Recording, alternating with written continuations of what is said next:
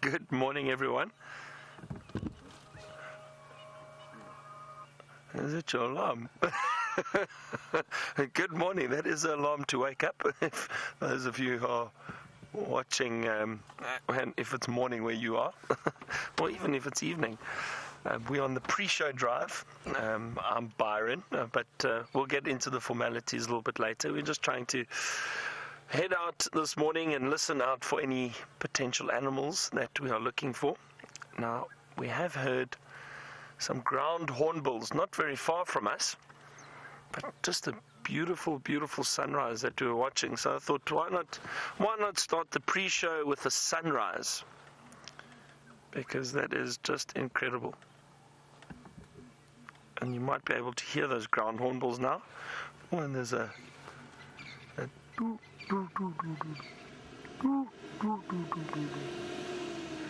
That is the sound of a vehicle. That's, that's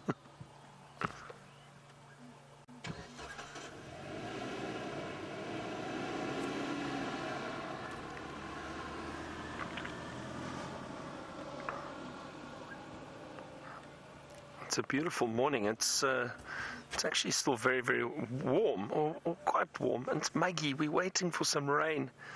Hopefully soon we'll get some rain. They predict rain for this weekend, so that could be interesting. Oh, wonderful bird calls at the moment. I'm sure you can hear the deep booming ground hornbills. Let's just listen to that for a second.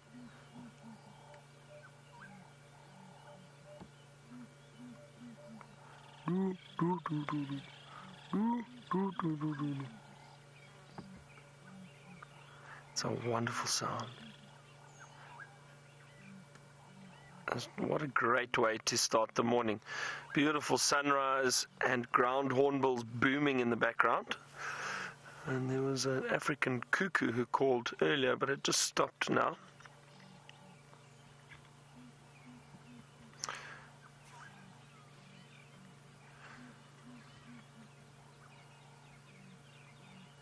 Think, uh, you know, we always talk about it, and I don't know what you think.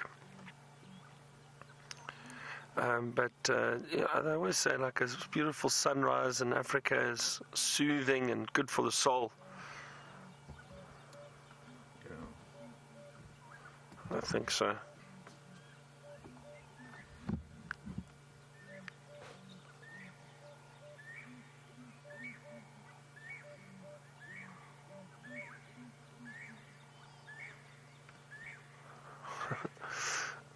So we're going to be starting the proper show soon. And just uh, we do this pre-show just so everybody can kind of find the links and make sure that uh, that they're ready to start watching the show. I know quite a few of you do start watching from the pre-show show. so we need to think of another name for that. I'm sure. The uh, no, I, I don't know. I think it's a bit too early for me to think of names.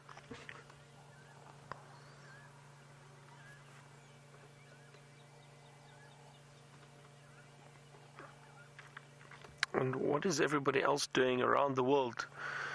Some of our viewers, um, I don't know what on the. I'm trying to think.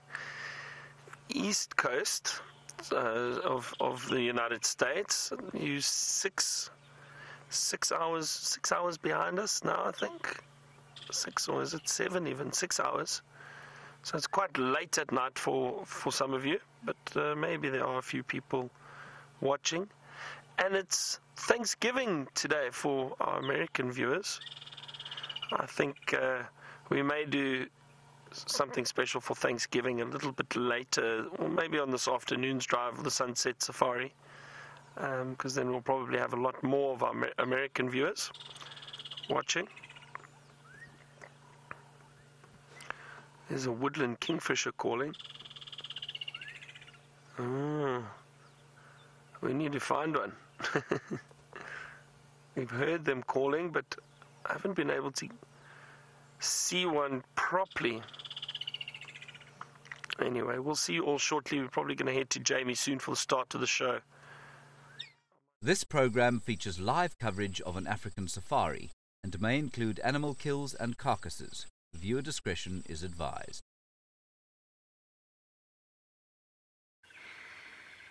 Good morning and welcome on another live safari adventure, starting off with one of the newest arrival on Djuma.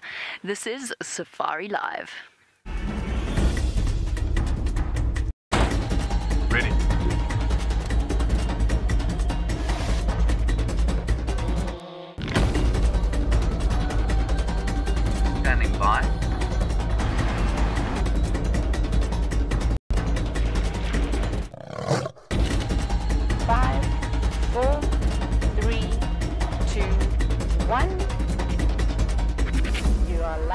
You are live. And a very good morning to all of you, and welcome on our sunrise safari. This is hilarious. The young males don't know what this thing is. Hold on a moment, I'm just going to go forward and then I'll do all of the introductions and so on.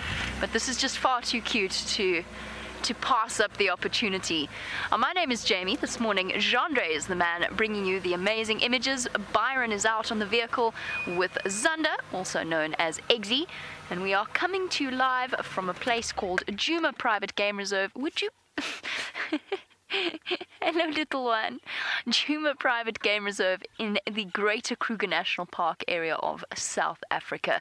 And I'm sorry, I've turned a little mushy because this is the first baby impala I've seen this year. And it is just too adorable, and these young males don't know what it is. it's all confused. And they keep going up to go and sniff it, and then it gets a fright. Look, look, look. What is that? What is that? This strange little mini impala. They're very, very confused. And of course, it smells all interesting. Ah, what a magic way to start off a morning. Oh, oh, now we're having a scuffle. Hormones running wild. you two. And little one doesn't know what's going on. Panic! Isn't that incredible? Few hours old, already clean and dried. Might be the one that Brent saw um, a couple of days ago, the first baby impala lamb. No, that's a tree, Matiri. That's not your mom, that's a tree. All these new smells. All these new sensations. Where's mom? Hmm? You lost mom. Look at that. That baby is not nearly old enough to be eating solid food. No, little one, that's not mommy. That's a tree. Looks like it's licking up the termite. Look, it is. It's eating the, the termite residue.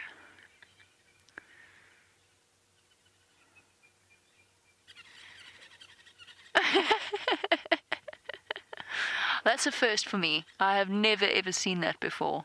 Oh, young males come to investigate again. They are so perplexed by the presence of this little thing. Oh, now we're running away. Where's mom? Where's mom? Mom, mom, mom, mom. Everybody looks the same. And now my mouth tastes funny because I've been eating termite stuff. now you're running away from mom, you silly little thing. See the instincts to do that stotting motion. Oh, now we're running back. Prancing all over the place. Poor mom's trying to get back to it. Nyalas are panicking. Impala are running everywhere. Baby's starting. oh, this is so cool. And we're gone. Wait, we're coming back. No, we're gone. No, we're back onto quarantine. Right, everybody, let's go and catch up with the mad baby Impala. A cool way to start a morning. And now don't forget that because it is live, if you have any questions on this subject, you can send them through on hashtag Safari Live on Twitter, or you can email through to questions at wildearth.tv. At the start of the show, Jandre really wanted us to have a look at the sunrise. I was insistent we stopped at the baby Impala. Let's go and have a look at the sunrise from Byron's perspective.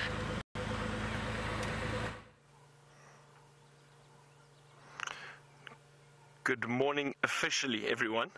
And we are watching this beautiful, beautiful sunrise. Really magnificent color in the sky at the moment. So, so beautiful.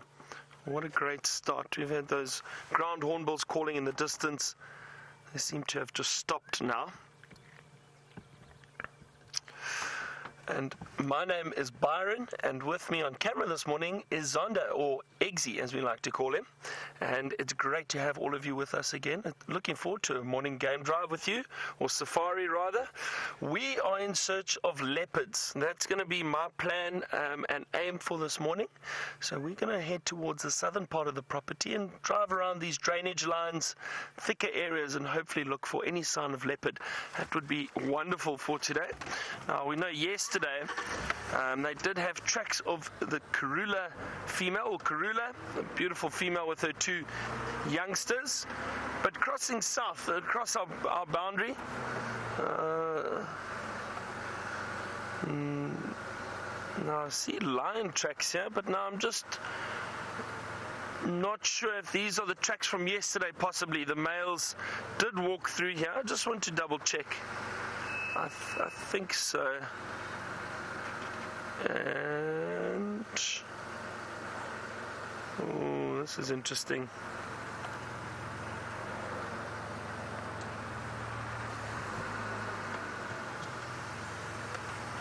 So I'm just trying to have a look at, to see if there's anything that's walked on top of these tracks.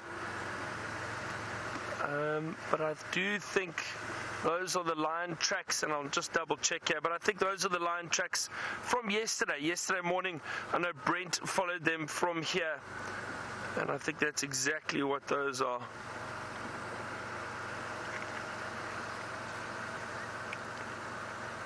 Yes, it appears to be the case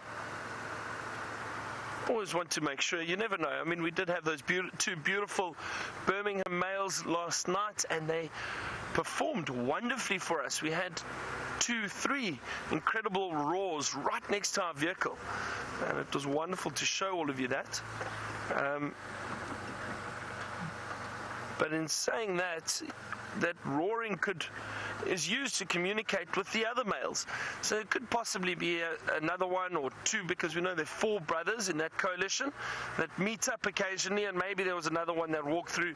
But I think these tracks that we are seeing here are the ones from yesterday morning that uh, that just, or those ones that I saw earlier from yesterday morning. It does appear as if. Um, the vehicle tracks and other animals have walked over those tracks, so it's not fresh at all. And uh, I'm very jealous. We we saw an impala lamb yesterday, but Jamie's got some more impala lambs, and what an amazing sighting to to see them. Let's head back to her and see what they're up to.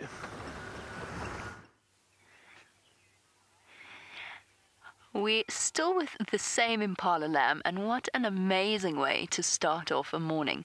Then to watch this little thing, already stable on its feet, already instinctively stotting, running around after mom. It is absolutely stunning. I can't help looking at this baby impala, thinking how tightly folded it must have been before the female gave birth. This was my first plan of the morning, was to actually drive around quarantine and look at the new impala lambs and we have definitely been rewarded. And welcome to Brandon. Lovely to have you on the Sunrise Safari. You want to know how long is the lambing season for Impala? It goes all the way sort of to the point of about February. Beginning of February is usually when we get our latest births of Impala lambs, and that's because in, with the initial rutting seasons, not all of the females fall pregnant. So we have a second rutting season or a second mating season. So as a result, the births can extend all the way to February. Um, but it's usually between November and January, the most, the peak season of the births. And in fact, the first, the biggest peak is now at the end of November. And we're going to see more and more and more of these little creatures. I'm hoping we're actually going to go after we're finished here with this little impala lamb. We're going to do a tour of quarantine.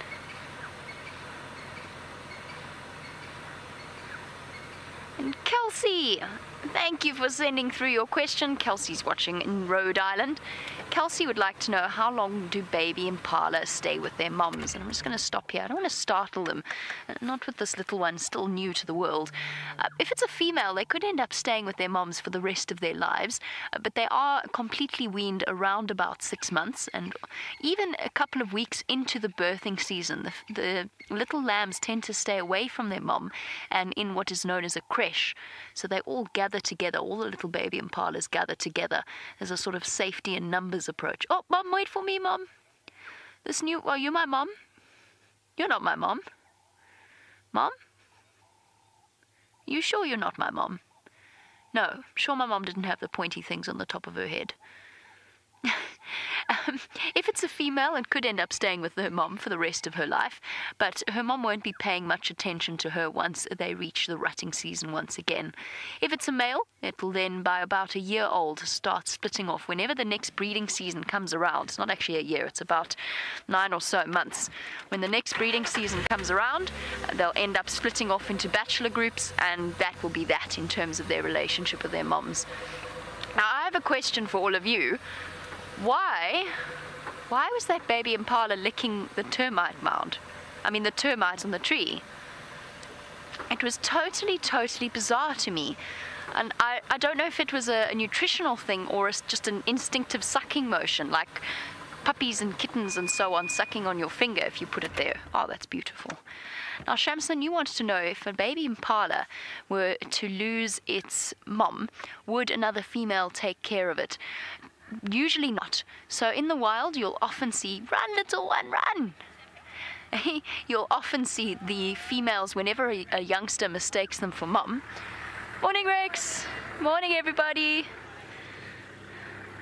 Whenever the impala or baby zebra or baby wildebeest or baby zebra makes a mistake and approaches another female, um, oh, there's Rex having a look at the new baby impala um, whenever they approach them, they get headbutted or kicked.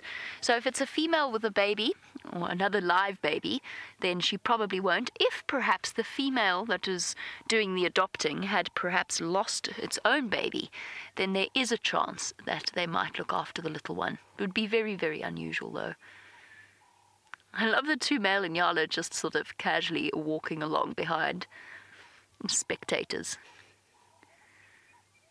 But yes, I want to know why that impala lamb was suckling or nibbling on that sort of crusty termite residue along the tree. Nope, I don't think that's mom. There's mom. There's mom. Doing some good cleaning. Here we go, little one. Oh! Mum hasn't quite got used to the idea of what suckling involves, which is uh, some really thorough headbutts um, to the lower abdomen in order to stimulate milk.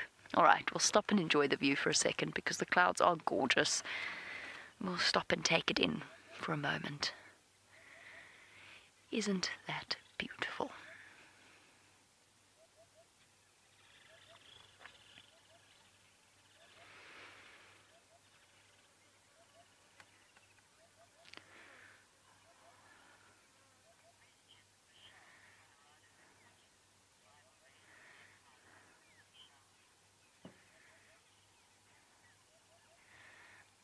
While we take in this view, of course, Michelle wants to know what the survival rate is of baby impala. We discussed this the other day on Drive, and I haven't been able to find definitive figures for this part of the world, Michelle.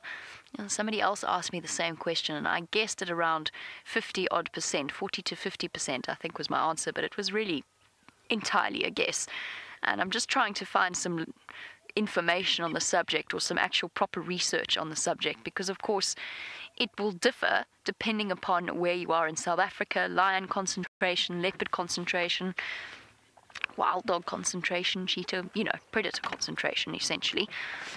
Um, I'm going to go trundling along around quarantine while we think about this. I'm going to go look for more babies. So it, very much differs from area to area, and I have been trying to find the answer to that. When I do get a definitive answer on the survival rate, I will update you and I will let you know. Me just stop for one last look, just one last look. And then I promise I'll move on. I don't really want to though. Perhaps it was just an exploring its world kind of thing, that it was busy nibbling away on that bark. Like hyenas chewing on sticks. It's so cute.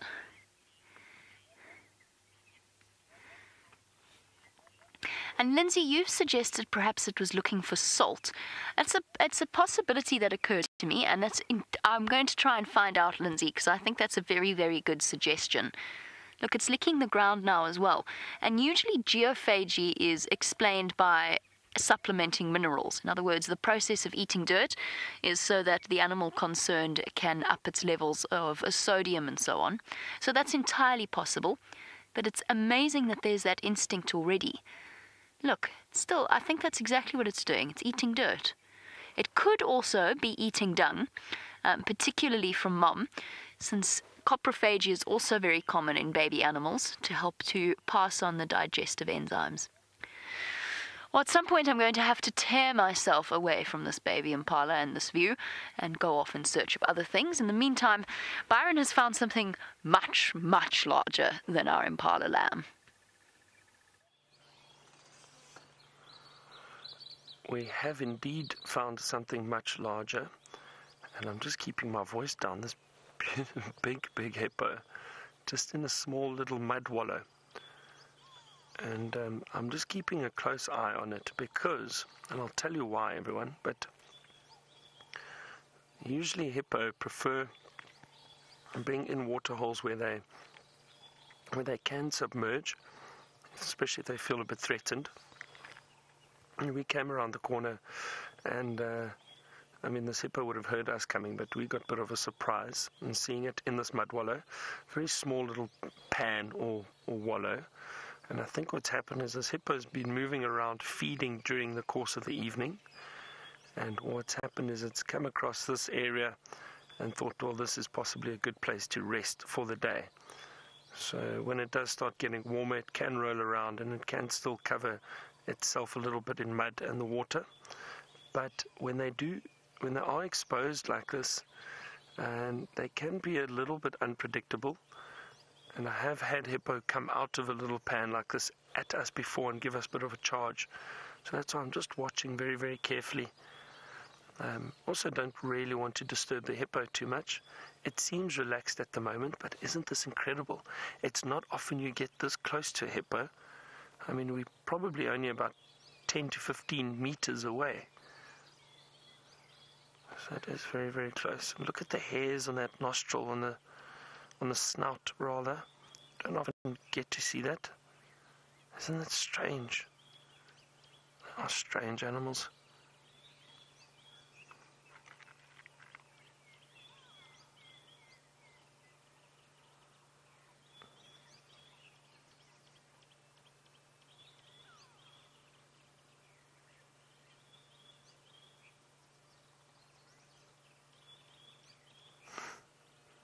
It looks like it's it's almost a little bit almost looks like it's very wary of us, keeping a close eye on us. Don't forget everybody, we are completely live. So send us your questions or your comments either via Twitter at hashtag Safari Live or email us questions at wildearth.tv and we'll gladly answer answer your questions for you and we love hearing from our viewers this is a very special sighting. This is, I'm enjoying this, but I am still very, very careful. As I said, looks like this is an older hippo too. Just judging by the the ears, they look a little bit worn. And I'm probably going to move on fairly shortly and leave it. Hopefully, I don't disturb it too much. I think we might do that now. But what a great surprise. And that's exactly what's happened. It's been moving around feeding and it's coming to this little water source at the moment. Um, sorry, I do usually turn the other way, but I want to keep watching it just in case. Lorena, you want to know if this hippo is a bit skinny, and it does look like it is fairly bad condition. And again, we need to remember is because coming out of the drought, a lot of these animals, and a hippo is a grazer, it feeds on grass. and there isn't a lot of grass around at the moment, so they have lost a lot of condition, and you can see the bones on the back and the hips quite clearly. So yes, Lorena, it is skinny, and that's another reason we do need to just be wary and be careful. Uh, again, animals generally aren't out to get us, but if we threaten them or if they feel threatened in any way or uncomfortable, they'll react in one of two ways. Either leave this little waterhole and run away or come out and charge at us, especially these hippos. So, but, uh, but they aren't. Well, this one doesn't look like it's had a lot of food, but now with all the green grass around, it should be a bit better. However, that grass needs to get a bit longer. It's not as easy for this hippo to feed on that shorter grass. So hopefully it does get some food soon. Or substantial food rather. Alright, I think uh, we're going to leave this hippo to wallow. I'm just going to see what happens when it starts, uh, when I start the vehicle. Um, hopefully we don't disturb it.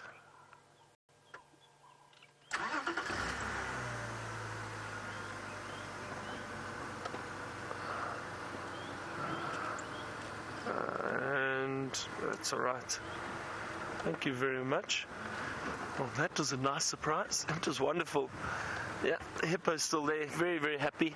Now, we heard some ground hornbills earlier this morning while we were watching the sunrise. Jamie has found them.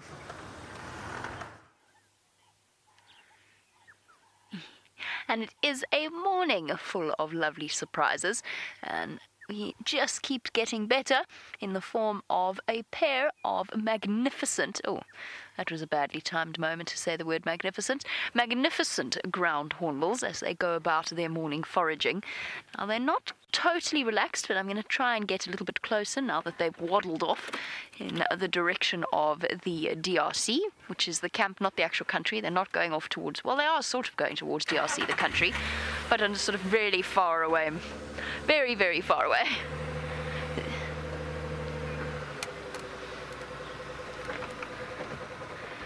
Ah.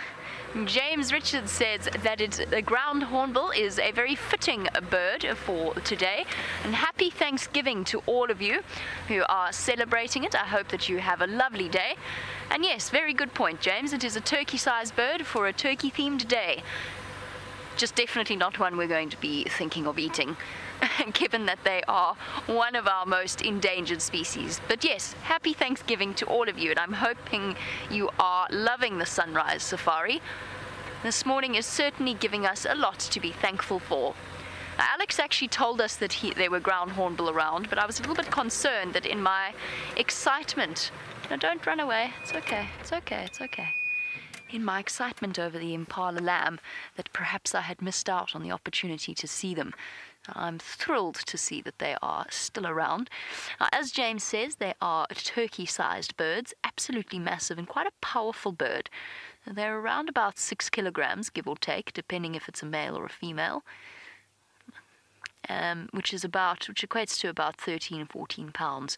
So quite a heavy, quite a robust bird. And you can see from the massive size of their bill that they are a bird that's geared towards things like breaking and crushing. Things like tiny tortoises will fall prey to their bills. Snakes are particularly good snake catchers which is one of the things that the um, conservation projects around ground hornbills try to focus on in terms of education. They are, because they're birds, they're, the, the matter of their conservation becomes even more complicated because you can't exactly release them into an area and expect them to stay necessarily. They've got wings and they can fly wherever they want to. Now, they have a tendency to go and smash windows. They see their reflection in it and they think, oh, enemy, and they go and attack it. And it's one thing when a yellow-billed hornbill does it, which is just a tiny passerine, but when a ground hornbill does it, you almost invariably end up with shattered glass. And as a result, they've been come to people have come to view them as very much as a nuisance. And one of the educational programs that have been that people have been trying to implement in the various communities around reserves where you're likely to find ground hornbill is to try and educate people on the fact that these these birds can actually be more of a help than they are a hindrance. So, for example, perhaps clearing one's area of snakes would be one very useful facet of these magnificent birds. And they are magnificent. That striking dark black colour. And we're so fortunate to be able to spend time with them because they are, as I said, one of the most endangered species that we get out here. They're one of the apex avian predators. They're also critically, critically endangered. Luckily, it seems as though the ground hornbill populations are making a comeback. But for those of you that perhaps are planning a visit to the Kruger National Park or in fact other areas of South Africa, if you see a ground hornbill with a tag around its leg or a tag upon its wing, most of the, the reserve management or perhaps the gate staff will know the ways in which you can go about reporting that to the people in the know. Mainly that will be the Mabula Ground Hornbill Project and they research and they track these beautiful birds and they are actively involved in reintroducing them to areas where they would have occurred in the past. Look at that. Wonder what that was. It was very pale, very, very white, whatever that substance was that it just ate. Personally, my favorite part of the ground hornbill is their eyelashes. I really like their eyelashes.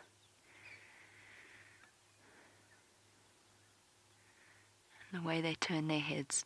You see those massive wings folded over each other.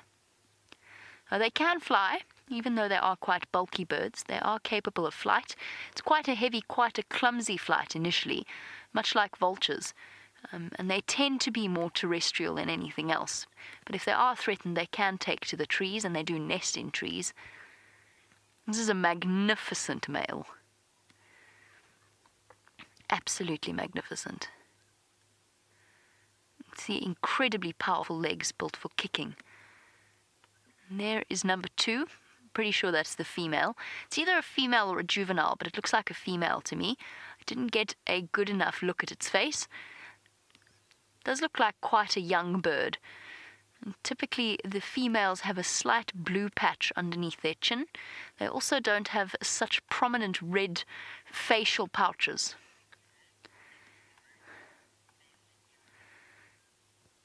While our male hornbill struts his stuff, let's go over to Byron and have a look at the antelope he has.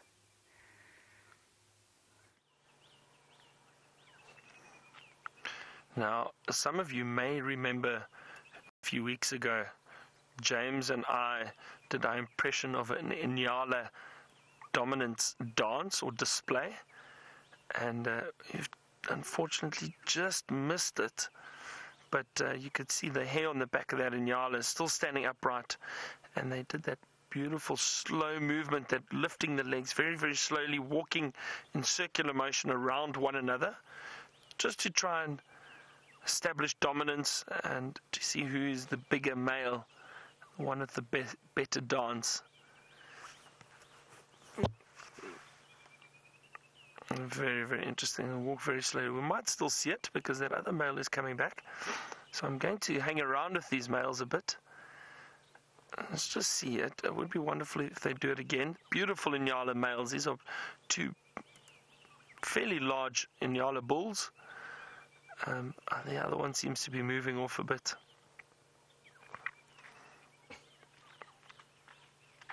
That one's enjoying some green leaves, a bit of grass here, but I think it's actually feeding on tiny little shrubs.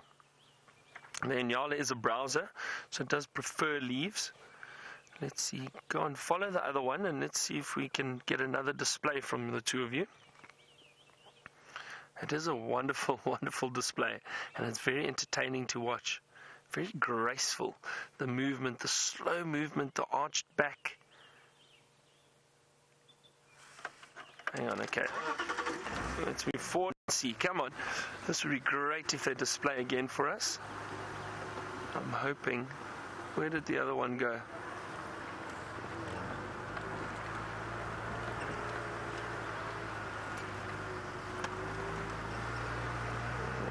Okay, up here, but hang on a second. Let me just come around this side.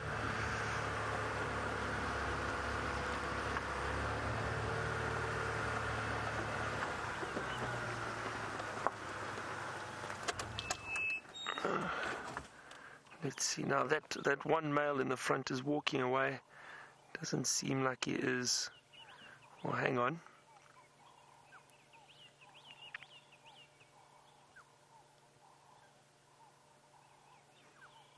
It's always tricky. You never know what these animals are going to do. Are they going to display? Are they not? Look, the, the, they're raising that mane a little bit, the hair around the back, especially this one here.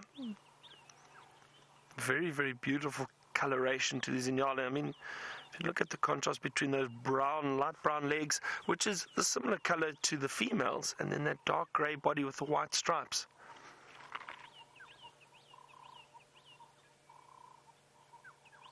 No, they seem to have finished their display. Let's see, the other one is just moving off through the back. You can see him over there.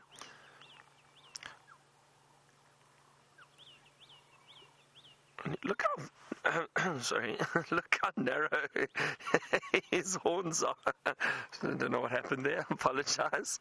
Look how narrow those horns are. That's very interesting. Just shows you how different horn structures can occur in antelope, and you'll also see it very, very often with kudu. So one of the other antelope with these large spiral horns, you see different shapes. Some are very, very wide and some are really narrow. So these two were quite different. That male that we saw now, those two, those horns actually came together and were very narrow compared to the other one. The other one, one's horns were a bit wider apart. Um, Ah, they have they are moving off at the moment. I think they've finished displaying, but wonderful to see them nonetheless. Um, we're approaching a little dam now, a little water hole. So I'm hoping we, I, don't know, it looks like, and I can see tracks over here. Looks like these two male lions that we had last night, these two Birmingham males, headed back up into further into Vuyatela. Um, but in the opposite direction to what we're going at the moment. Remember, we said our plan is to try and find some leopards. Uh, but uh, it's always nice to find a big cat, especially the lions early in the mornings.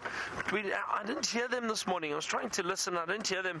And also, if they um, if they were moving around a lot during the course of the evening, they could be right beyond our boundary at the moment.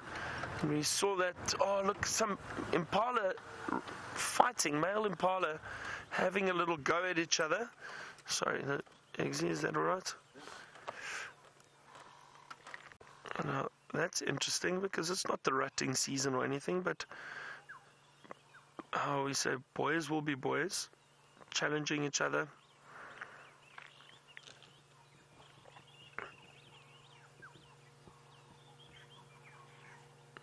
Now, the rutting season for impala is around April, May.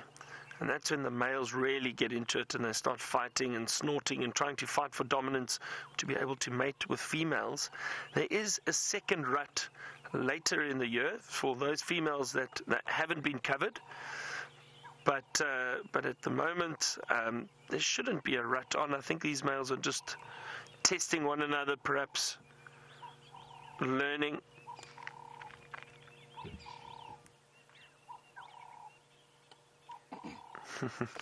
so, Jeremy, you wanted to know if the impala are anything like the deer that you have in the USA.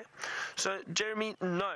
Uh, technically not. So, a, a deer I'll tell you the main difference between deer and, and, impala. So impala fall under a family known as antelope, and deer or deer, if that makes sense.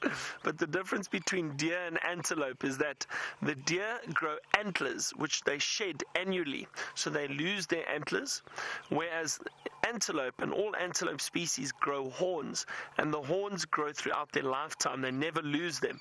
So those impala that we just saw over there, you could see those two males with those beautiful um, horns that they've got. Deer wouldn't have horns; they'd have antlers. So they Let's quickly head to Jamie. I think she's got something interesting. Sorry to rush you across, but just listen.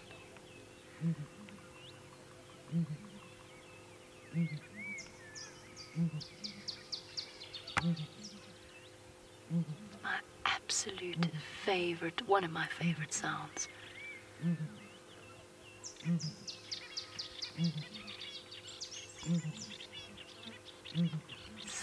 Beautiful mm-hmm. primitive sound. Like some kind of ancient mm-hmm. civilization playing the drums. You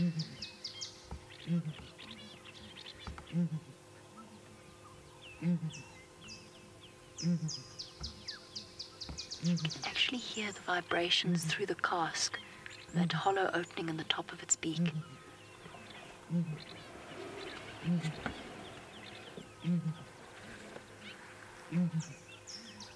The others are responding. There's actually three of them here, but we can only see this one for now.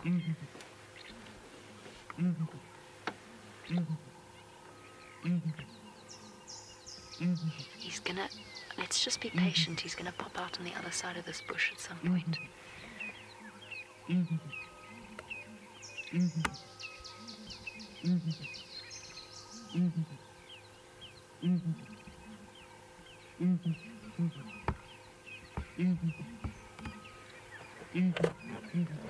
Such a beautiful, beautiful sound.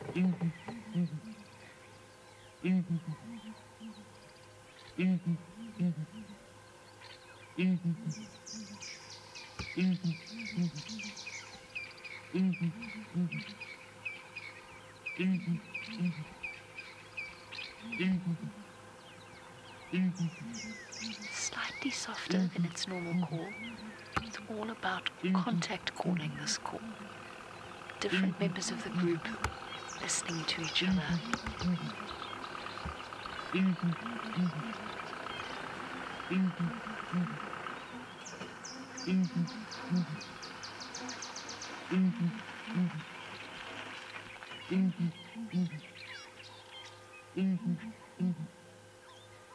Love that sound.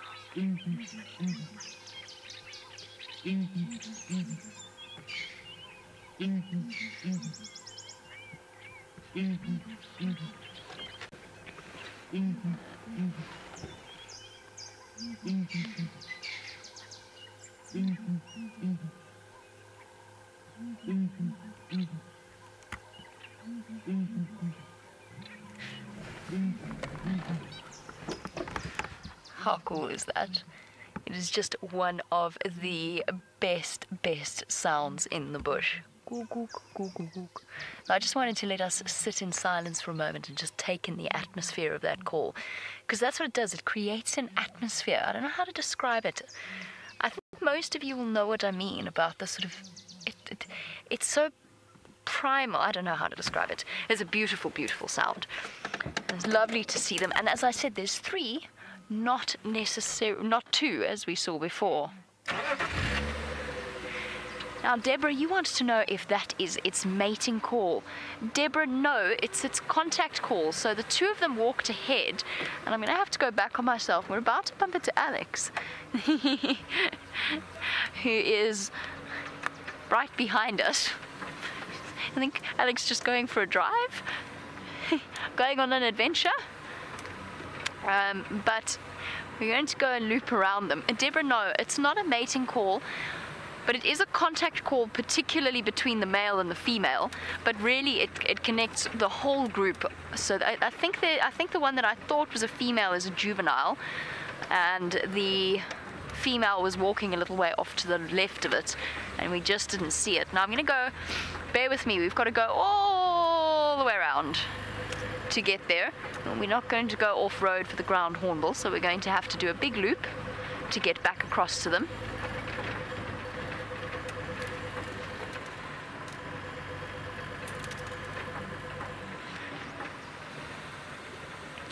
And welcome to Janice, who obviously is enjoying the beautiful ground hornbill. Janice, you want to know why are ground hornbills endangered? Is it because of hunting? Not so much hunting, although poaching would be an issue with ground hornbills. There are some traditional medicinal beliefs connected to them. I've never been able to find out what they are. I just know that they exist. I know that are there's some kind of connection to the use of ground hornbill in what's known as muti, or local medicine, traditional medicine. Um, the biggest threat to these amazing birds is their habitat loss. So, as you know, there is such a delicate. Are they still calling? There's such a delicate, delicate balance in nature. And human beings, in terms of the impact that we've had, have been absolutely some, mm. you know, some mm-hmm. species have just fared worse than others in terms of our encroachment into their lives, and the mm-hmm. ground hornbill have not done well. They take about mm. seven years to reach mm-hmm. sexual maturity, so it's quite a slow growing creature. And the parents invest a huge amount of time and attention in just one mm. chick, kind of like elephants and also kind of in a way like human beings.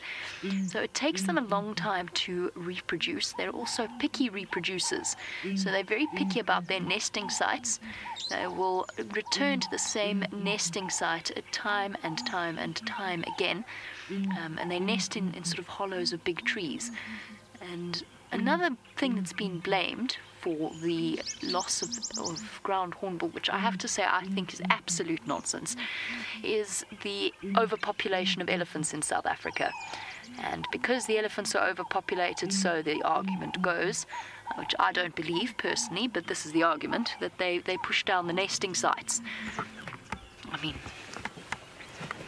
I don't know. Bizarre, totally bizarre reasoning to me. But anyway, that's the argument that's put forward. But mostly it's humans' impact. and now? How did that even work? Fine. Everything's out to get me. Watch out, Jandre's screwing it again.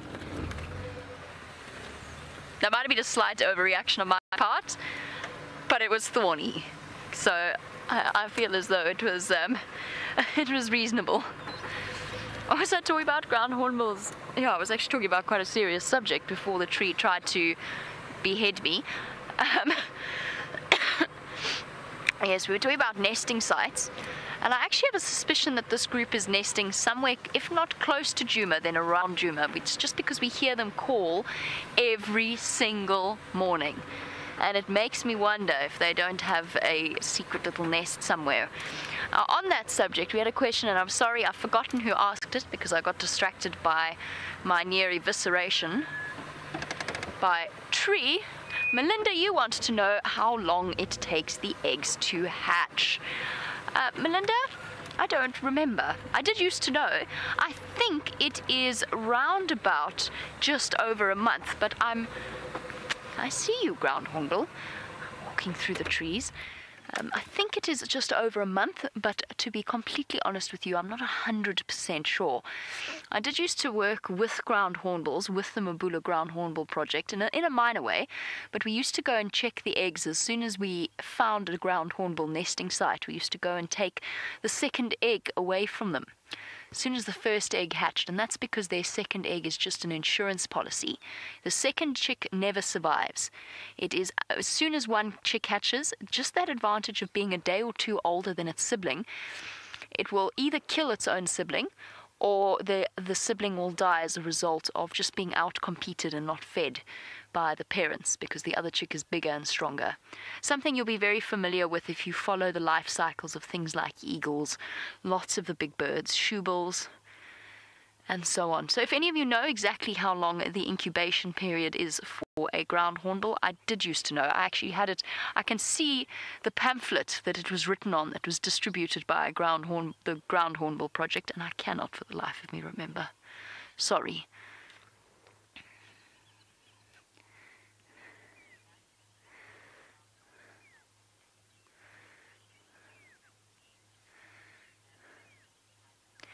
Uh, Michael, you wanted to know uh, because, of course, we've discussed the fact that the, the, the, chicks are very slow growing.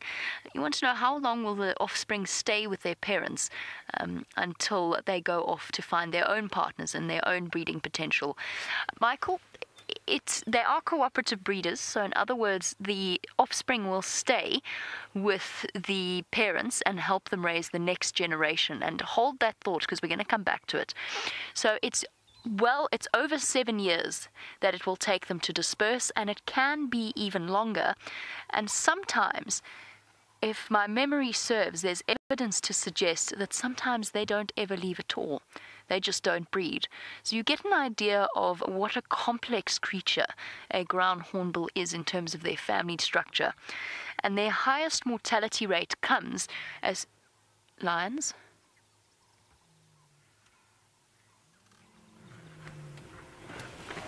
So many sounds today.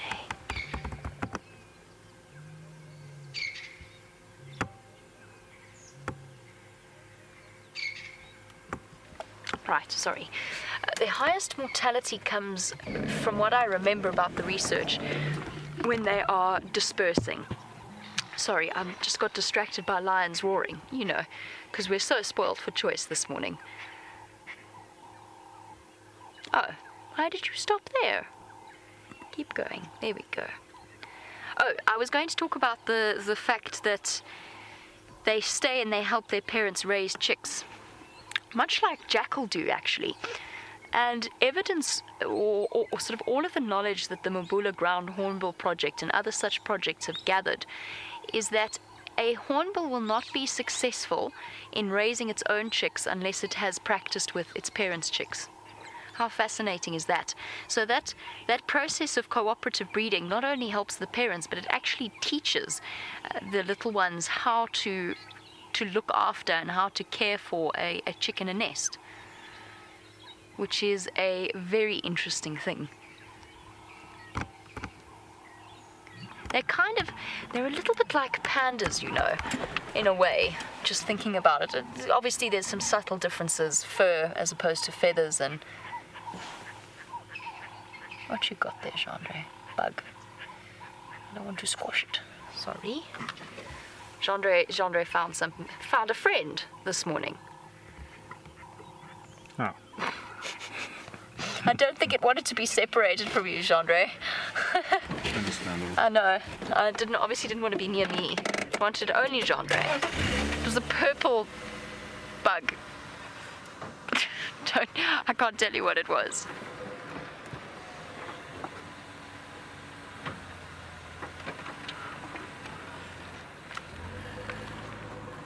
Marianne's on the same page as me. Uh, Marianne is saying that she loves the call of the ground hornbills and that she finds it very similar to a male lion's roar, which of course we just heard now as well, um, and that it's very earthy and primal. That's exactly how I feel. It's a very, very primal sound. I love it. It's do do do do do do It is like some kind of ancient instrument. It's, there's no other bird call except perhaps the Verreaux's eagle owl that compares. Oh, and maybe an ostrich. But the, I think the ground hornbills is the most beautiful of the lot. Hey, mister. Quite a long way behind your family. Although we have managed to catch up with them. Call again for us, please. You only hear them calling first thing in the morning and in the evening. They're not birds that continue to sing or to call throughout the day. And that's how we used to try and find their nest sites. We used to get up at three o'clock in the morning, or be out at three o'clock in the morning, so, because you, they start calling from their nests as soon as it gets light. And that's what makes me wonder if they don't have a nest somewhere here, because just the fact that we're hearing them before sunrise every morning. But we used to go racing off in the vague direction that we hoped there maybe was a ground hornbill nest, and then stop and listen. Have our coffee and just listen. And as soon as we heard them, all coffee was thrown out. We raced off, all jumped back in the car, raced as close as possible to where we could to the tree. Then we'd jump out of the car and start running through the bush, which is not, of course, we didn't do that with guests. We just did it on our own because you shouldn't really run through the bush. But we used to, let's say we did a very fast march through the bush to try and get there before they leave, because otherwise, trying to find a ground hornbill nest is a very tricky thing indeed. But hopefully, things are looking up for the ground hornbill as a species. Uh, as our ground hornbill toddle off, I think I'm probably going to leave them to go about their morning business. Let's go over to Byron for an update.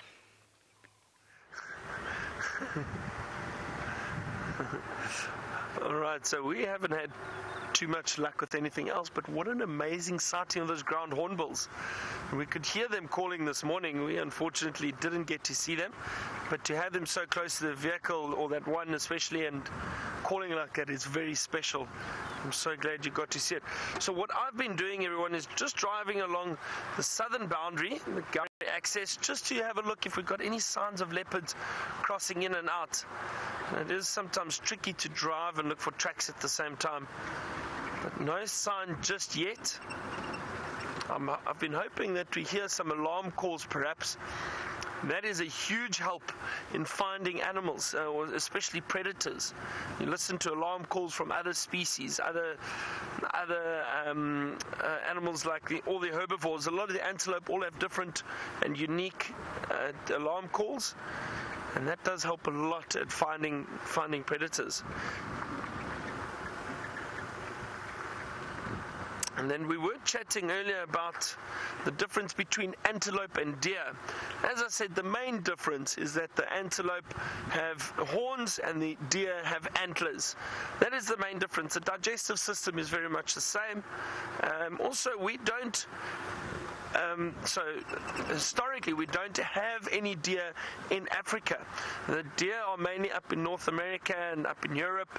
Uh, we have introduced, or people have introduced, some species of deer into South Africa or Southern Africa, but they don't occur within the, the national parks. That would be in certain areas that uh, that um, perhaps farmers have introduced them purely for hunting purposes. So I know down in the Eastern Cape, so the southeastern part of South Africa, they have introduced fallow deer, which comes from the UK, I believe, and uh, and that was mainly for hunting purposes, so for venison. But um, but up in uh, or in these areas, uh, in the natural or natural areas, there are no deer, only antelope species, and quite a few different species of antelope.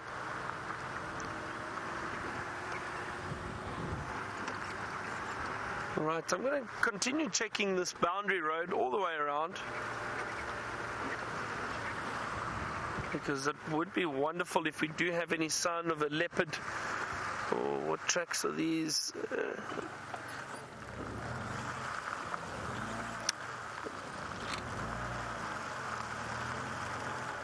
let me just have a look. I, oh, see if I can show these to you, and I might be able to. I think so Let me see if I can. Can you see that little scuff mark in the sand over there? Let me get out quickly and see if I can show it to you. I think you should get it at this angle. Let's just see if I can show you quickly. Uh, let me just try and get a stick.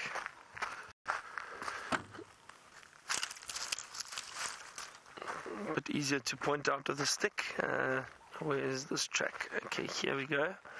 Um, let me just see. Can you see this one over here? Can you see that? It's a bit tricky. Um, this is a hyena track, everyone. And I'm trying to see if there's another clearer one. Um, that, and here is another one. If we just come a little bit this way, there's another one there. Can you see that? Okay, so what I wanted to show you with the hyena tracks, and this hyena was probably moving around during the course of the evening, but it's easy, easily identifiable. And the, this is the back pad. So let me show you with the stick. That is the back pad. I'll trace around it. That section over there. So the back pad of the hyena track. Then you have one, two, three, four toes.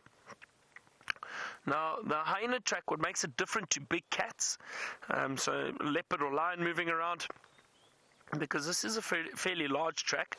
Some people uh, might look at it and go, "Oh, there's a cat that's walked past here." But hyena track at the back, the back pad, it actually has two lobes.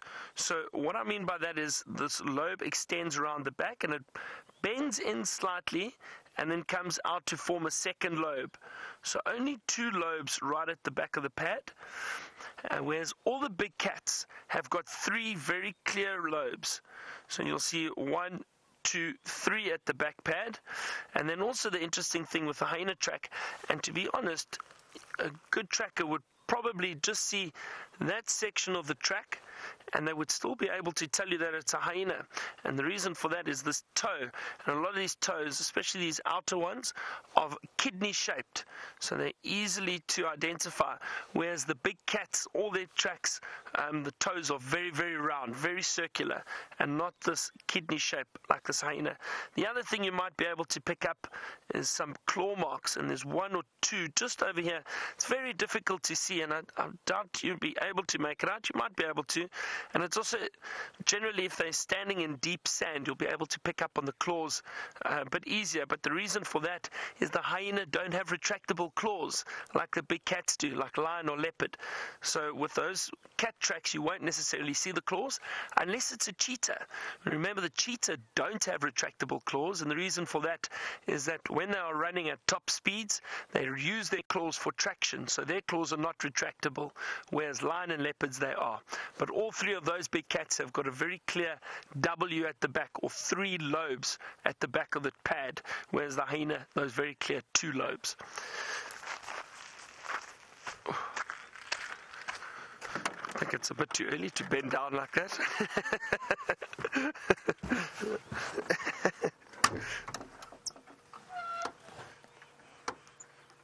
but um, it's nice to see, and we haven't seen any hyena walking around for quite some time. And again, my, my theory is that uh, because of all the lion activity, but who knows, who knows. There are hyena around, there are clear signs of them around. We might see some. I heard some early this morning. I, I did hear hyena in the distance, quite far away from camp.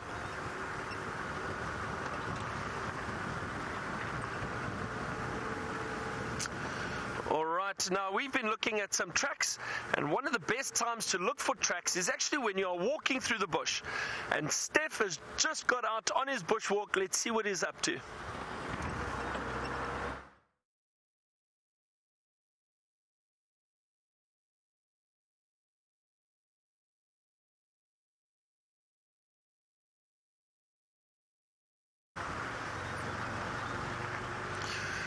Oh dear. it sounds like uh, Steph is just having some audio issues there quickly. They'll sort that out soon. We'll head back to him and he'll say good morning. But these trucks of this hyena, they've come all along the road. So I walked along here during the course of the evening. Uh, this is interesting. They've actually walked up and down the road, so backwards and forwards. And that can sometimes be a good sign. It could possibly be that there may have been a predator in the area that the hyena were following. Now, hyena are scavengers. And what they do is they're very opportunistic, and I've seen it before. They occasionally follow animals like leopards. The reason for a leopard being followed is it's a bit easier to chase off of a kill as opposed to a lion, obviously. Lions are much bigger. Um, and, and hyena will take a chance, try and chase a, a leopard off a kill, but I have also seen leopards stand their ground, especially big males. They don't like hyena and they'll stand their ground and keep a hyena away. But if it's a female and if she manages to kill something, something often the the hyena will run in, chase the female away, and try and scavenge some of the the kill, whatever it is that they've got. Um, I'm just looking, making sure I don't see tracks or signs of anything else, any other predator moving around here. But it looks like it's just the hyena that's moved up and down here. It's a lovely morning. It started off fairly warm, and then the temperature dropped as the sun rose, and we had to put on some jerseys and jackets. But it's uh, still very, very pleasant. It's a lovely morning, very, very nice morning. We had a beautiful sunrise. I think it's probably going to be a very hot day again today, unless the cloud cover comes over. And I know from guiding in the past, guiding guests, I'd always say, well, what is the weather going to be like today? And I'd say, well, let's wait wait till 8.30 about 8.30 and then i'll make a call. Because i've seen it so often where we start off on the morning and it's a beautiful beautiful clear morning. And, uh, and all of a sudden the clouds come over and then it's cloudy and overcast for the rest of the day. Or it happens the opposite way around. Starts off cloudy and overcast and then uh, and then it clears up.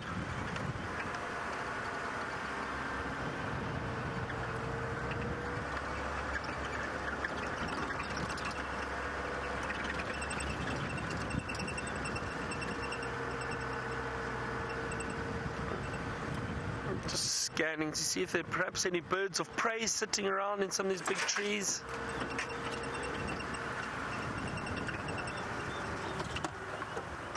What I saw? I thought I saw one fly off. I thought I saw a vulture fly off. Hang on.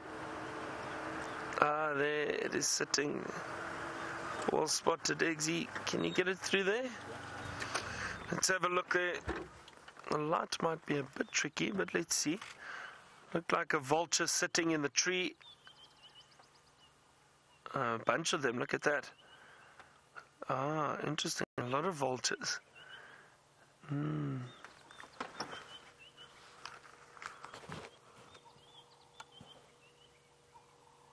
I wonder why all those vultures are there. This is a very, very thick area.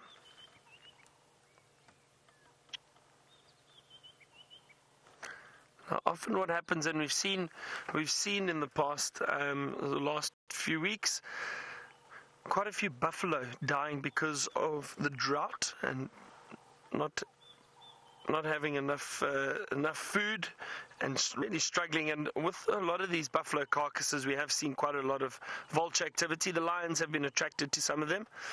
Um, but I wonder if there isn't perhaps another buffalo carcass around there. Those look like white-backed vultures.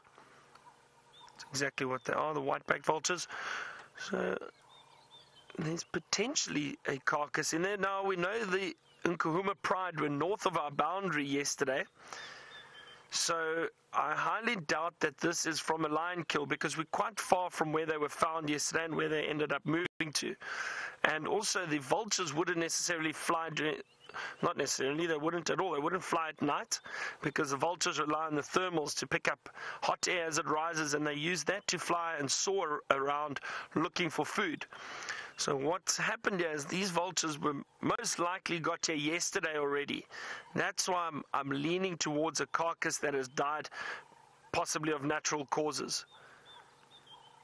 Also, don't think it's a leopard kill, and the reason for that is because leopards tend to hide their kills very, very well so that vultures don't see them. They don't want to attract any attention to them unnecessarily. And I think what I'm going to do is I might just take a little walk into the bush here quickly, just see if I can't see any sign of a carcass and what these vultures have been attracted to. And speaking of carcass, Steph actually has a carcass that he'd like to show you on the walk.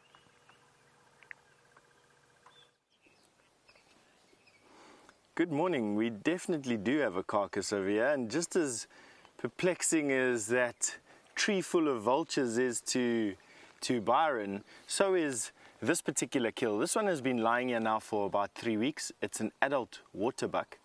And it died here along with another waterbuck, which is just at the base of that tree. Which is quite odd, is the fact that these two are lying very close together, but they don't seem to have been killed by a lion, to be quite honest with you. I don't know what killed this. I would presume that it died uh, of natural causes. It died of the di- uh, died of dried of the doubt di- dried died of the drought is what I'm being trying to say. And by that I mean probably either malnutrition or just dehydration or one of the two. Um, and I'll go into a little bit more now of what I think is going on over here, and at least at least what the bush is being is doing with it. So at the moment, you've got all these little bugs and beetles that are eating off the last little bits of flesh, adhering to the bones underneath the skin, and they'll pretty much pick the carcass clean. Then the keratin bugs or the beetles and the Moth larvae will come in and will finish off the hair and the skin.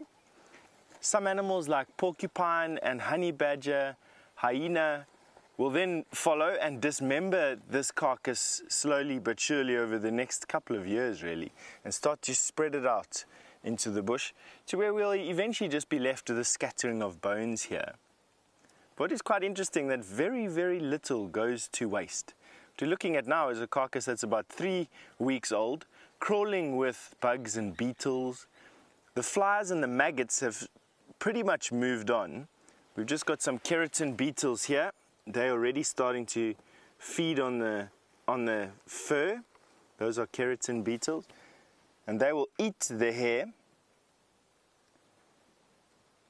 And it's not that smelly, to be honest with you. It's got this musty smell when you're sitting downwind of it. It's not the most pleasant smell, but it definitely isn't nauseating at all. And this was where the tummy contents was. This was inside the stomach of this waterbuck. They are grass feeding, they're grazers. And so you'd, you'd, you, you could expect to find, and we do find, a bunch of very fine grass shards, main, mainly that, which have been utilized by termites already. So you can see by these sandy tunnels, this is where the termites have come up from underneath the ground and have pretty much eaten out this tummy contents here from the ground up, leaving literally just the last little bits of the hardest grass. Isn't interesting? I suppose I could take this time to introduce myself now finally. We had a little bit of an audio issue, you know, coming from, uh, coming to you live from the African bush out here doesn't present itself, does present itself at least with some challenges from time to time. My name is Stefan Winterboer. I'm a wilderness trails guide and on camera today we have VM. There we go, saying hello to you. All right, what are we doing on foot, you may ask? Well, exploring Africa on foot uh, pretty much been happening for the last couple of hundred years, really. Let's go and have a look over there.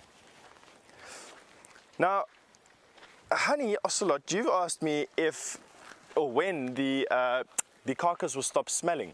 Um, it doesn't actually smell that unpleasant now, three weeks down the line. We haven't even had any decent rain just yet. Um, I suppose it'll stop smelling completely in another two weeks or so, where everything will just be too dried out. The sun at the moment when it does come out is quite intense, and once the rain washes away the, uh, the, the, the last little bits of skin and meat and starts to disperse it, then it really doesn't smell at all. As to how long it is before I'd be comfortable picking up a bone of one of these animals that have died here, here probably next season only. I would wait for a decent amount of time for the rain to wash anything off here. Um, one of the diseases that afflicts the ruminating animals out here is anthrax. And anthrax spores can stay active, uh, although dormant, but they can stay alive basically for many, many, many years, many dozens of years. In some cases, I've even heard uh, of even hundreds of years for an anthrax spore to stay dormant. So you don't want to go and touch things like tummy contents and everything like that, not this time of the year after the type of drought that we had. Let's go and see what's happened to this one. This is another one that's why I say that they haven't been killed by lions, they may have been fed briefly on by lions, but the carcasses are not dismembered. Lions tend to dismember a carcass and leave it scattered around. As they fight and jostle for, for food scraps, they, they can quite often tear off a limb, they tear the carcasses in half, um, tearing off a head, and they'll each take a piece or a prize and take it underneath a bush somewhere close by and you quite often find relatively fresh carcasses uh, just slightly more spread. What killed these two? They look almost exactly the same age to be honest with you. I would say probably either the same disease or on the same hot dry day uh, they just succumbed to either dehydration or just malnutrition. Their bodies just couldn't take it. Here you're looking inside the rib cage. That would have been where the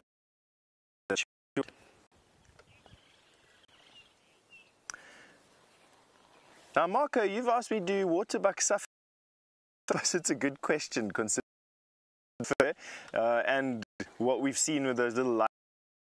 I suppose that they could suffer from mange mite, Marco. I mean, I can't imagine why they would be, um, why they couldn't be, uh, or excuse me, why they wouldn't suffer from from mange. Um, I would imagine that they could catch it very similar to how other animals could, at least anyway. Um, have I ever seen a waterbuck with mange? No, I haven't seen a waterbuck with mange. Similar to, I've never seen a zebra with mange either, or one of the smaller antelope. I've never seen a grey duiker or steenbok with mange either.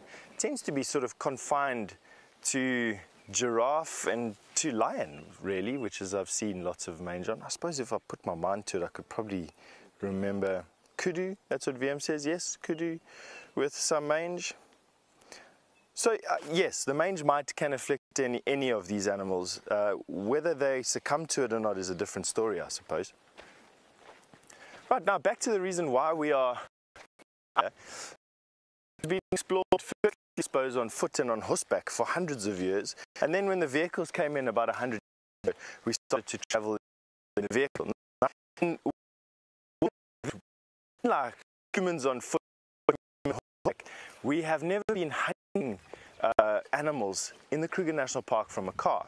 And so the reason why it's so close to these animals from a vehicle is because they completely trust uh, people in a car. They don't associate people in a car with any sort of danger whatsoever. Whereas man on foot is the sort of apex bipedal predator on the planet and has been for many, many years.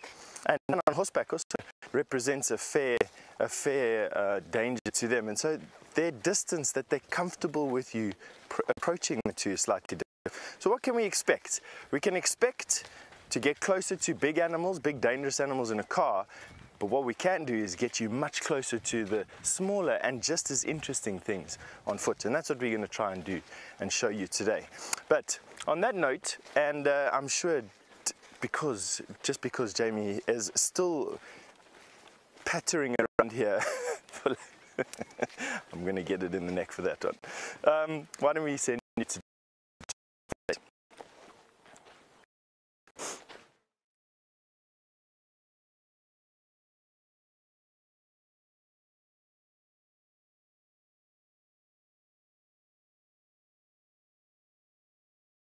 Well done, Jandre. Bravo. Jamie Patterington. I have a mystery track, and I don't quite know exactly what it is. I am, however, really enjoying not having a door. Um, I'm sitting here very comfortably examining the track on the ground. I drove over it before I saw it and then went back to it. It's not a drag mark. I, I think I know what it is. I'm going to jump out and have a look. I think I know what it is, but it's quite a peculiar one. Oh, that was so easy to so easy to do. I think it's very difficult to see, and I know it's quite difficult for all of you in this light, but I think these tracks on either side are the giveaway. And because you can't see it that clearly, I'm going to describe them to you. It's um, it's a sweep, an outwards facing sweep, just a slight sweep on each little track on either side of this. And that to me suggests a terrapin. So terrapins often drag their shells on the ground. So you often see far more than you do with tortoises. Tortoises are much better at walking because they are, of course, purely terrestrial, whereas terrapins spend most of their time in water. Um, so they will they'll drag their shell around and I think we've even got the imprint of the tail if we look really really closely here We've got the imprint of the tail as well. This terrapin was going in that direction, and I can see that even if I couldn't see the sweep of the feet, they also often drag their feet more than tortoises do. They walk like this with their front feet. I think that's, yeah, that is what it is. Well, odd track though. It's a very odd track and quite, un- uh, quite unusual to see it in this form. But that is what it is. It's a long way from water, this poor terrapin. Um, unless it knows something that we don't. They can cover enormous distances. Not hiding here somewhere. No. They can cover relatively large distances over land. They're not purely water based. But this one's going to have a hard time finding water in that direction. The closest water in that direction is, at this point, unless it rains, Red Dam. It's probably the closest water. There's no water left in the pans on Impala Road. That's a long way for a little terrapin to go. They can survive for quite a long time though outside of water. So they basically just, if they can't get to water and there's been no rain, they can just sort of go back into their estivation period and find themselves a nice sheltered spot where it's not too hot, it's perfectly comfortable, possibly even underground, although I'm not sure if terrapins ever go underground. I know Speke's do, which is a type of tortoise. Now there you go, an interesting track. I'm sorry I drove over it before I noticed it. I was not paying attention. Now, for those of you, I've just remembered now that I'm driving, uh, for those of you that are notice, feel as though you're on a roller coaster with us, it is because unfortunately we have a minor problem with the camera. So it's not that I'm just driving like a reckless hooligan, uh, more so than I normally do. Uh, it's the fact that the, the camera is causing it that feeling as though you're on a roller coaster. So we are going to go back and change the camera so that you don't feel as if you're going to throw up every time I drive. Now driving really slowly. Really slowly.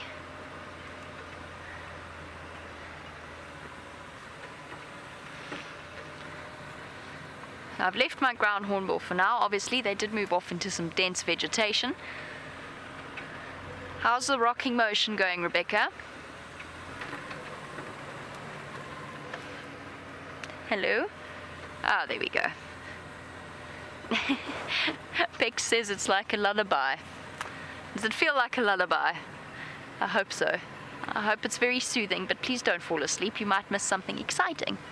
Even though I know that for many of you it is actually quite late. no sleeping.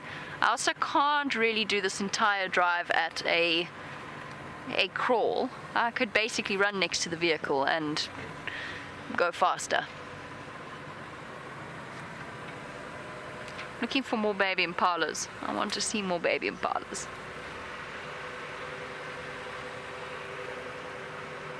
So while I look for more baby impalas, let's head over to Byron and find out what his plans for his morning are.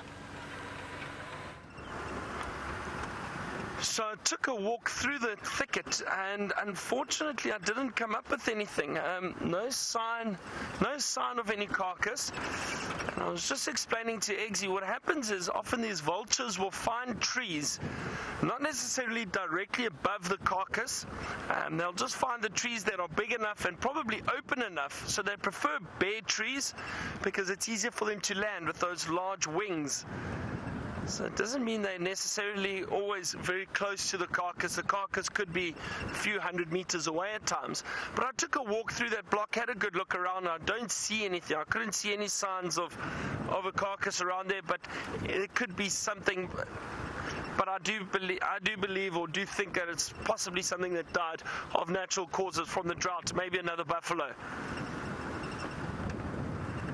But interesting nonetheless to see so many vultures around. But as I said, you know, those vultures would have arrived in this area yesterday and not this morning or last night.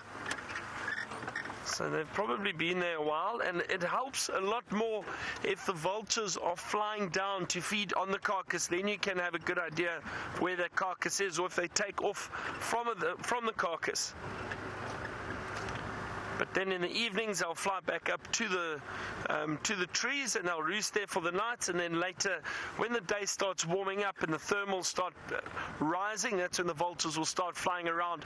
Probably head down to that carcass, if there is one around there.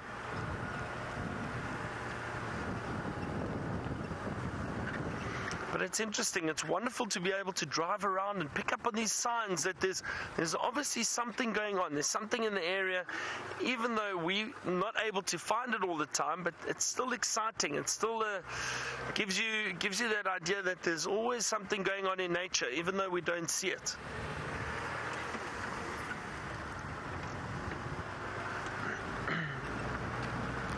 I still haven't had any sign of leopard tracks, unfortunately. I'm heading into area towards an area called Sandy Patch. And I'm gonna hang around there a little bit and just see if we don't get any alarm calls from impala or other antelope around that area that is a little bit more open.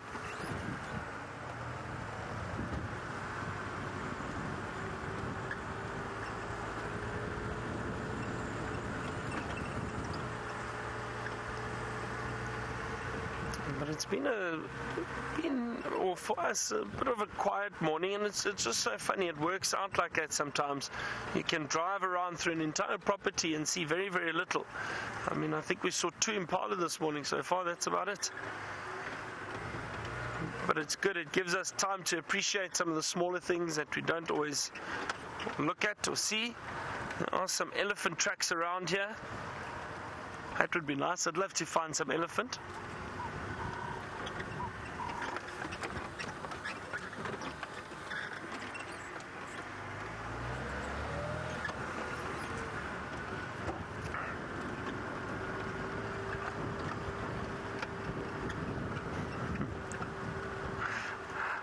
Blaine, age 10, all the way from Jacksonville. Hello, Blaine. How are you? So nice to have you watching the show with us. You want to know why we always wear hats. So one reason, Blaine, is that the um, the the sun gets very, very hot out here in Africa, so we do have to try and protect our faces a little bit. And the other reason is, um, and things are, people are so clever nowadays. What what they what they've done is they've put our microphone in our hats, so you might hear that tapping, and um, so it helps having the hat, and then that's where our microphone is, so that you can hear us speaking. But the main reason is for the sun, Blaine.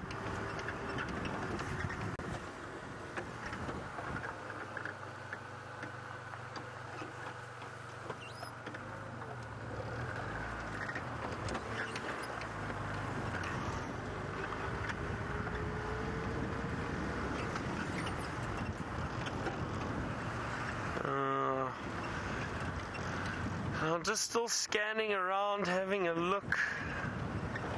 And I'd like to see some new bird species perhaps this morning. That would be great. I saw one earlier, uh, but it was very, very quick. A fleeting glimpse of that Stierling's wren warbler, and I've mentioned it before in the past.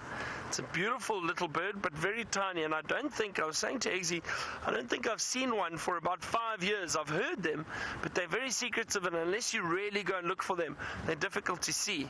I just heard one calling got to see it and then it flew off as they do. But who knows what other bird species we could find this morning? And I'd like to also see some more impala lambs. I saw one yesterday afternoon very briefly. Hang on, I thought I spotted something. I could be wrong.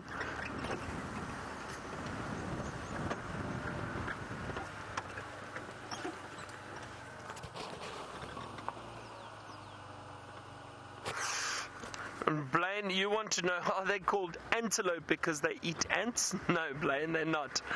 Um, uh, antelope, I actually don't know where the name comes from there, but the antelope are herbivores, which means they eat grass and vegetation. So leaves of trees or grass, that's what, what the antelope species feed on. They are herbivores. We call it herbivores. They only feed on vegetation. So, despite the confusing name, they don't feed on ants.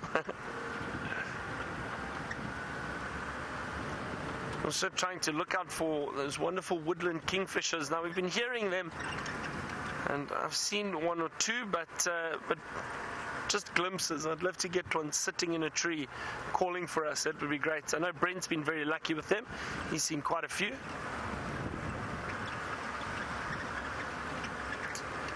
Okay, so we're going to continue our search for birds and leopards and other animals, any, anything at this stage. While we do that, Steph is still on a walk. Let's see what he's got. Hey?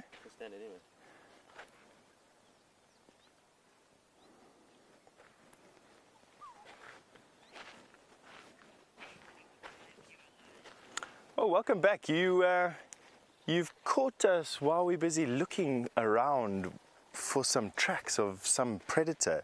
In the area, there's been some alarm calls, and impala alarm calling. They sometimes alarm call for nothing, their own shadow, but they could also can alarm call for serval, for caracal, African wildcat, uh, large eagles, and then of course leopard and lion as well. But what we've done is we've just moved into the area here and we're just hoping to pick up some other type of track. So it's difficult to, when you're in the middle of a block like we are, you can see over here that there's no really well-defined game paths anywhere. And the trick is to just look for any entrance points into places like this to see what has been walking around. The only thing of note that I'd, that I'd like to say right now is there was a track of a very large baboon here. And uh, although that has no relevance in my mind to why the impala were giving their alarm calls, it is important to know that for a long time we didn't see baboon here at Djuma. And then I think it was, it was the beginning of the dry season, we started to see a fairly large troop. And now they're fairly common to see here on Djuma. For whatever reason, they've decided to move back But these lone bull baboons that you're seeing, and that's that's the tracks that we saw up there was just a large track of a single bull baboon. These baboons can set up or can set you quite a challenge. Must be honest, to have a baboon living around the camp is uh, is something that you've got to watch out for. They can become very mischievous and very um, imaginative thieves is a word I'd like to use over there. That's what they can come. All right, here's something and what you want to try and do if you know you've got a baboon around the area that you live in is to keep all the areas where you keep food nice and closed. You've got to keep your rubbish locked away and then at, at a point you've got to keep the windows uh, away and eventually that baboon moves off. Of, of course there's no merit or there's no value in staying close to a homestead that doesn't provide him with easy food and, uh, and he'll move off eventually and that's what we're hoping. The tracks that we saw were not too fresh. I would say probably uh, about a day or two old but it's a good thing we'll keep an eye open for some baboon, more baboon as we go. Now, this is the dung of what looks to be a, a hippopotamus.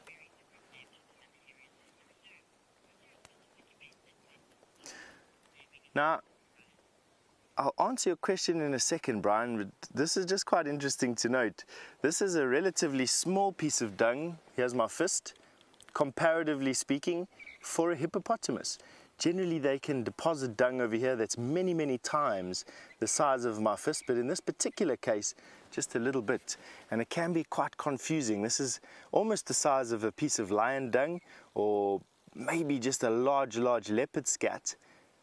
But when you get closer and you realize that there's just a lot of grass in it, it is a dead giveaway that the black color and the presence of as much grass as what we saw on it is a hippopotamus.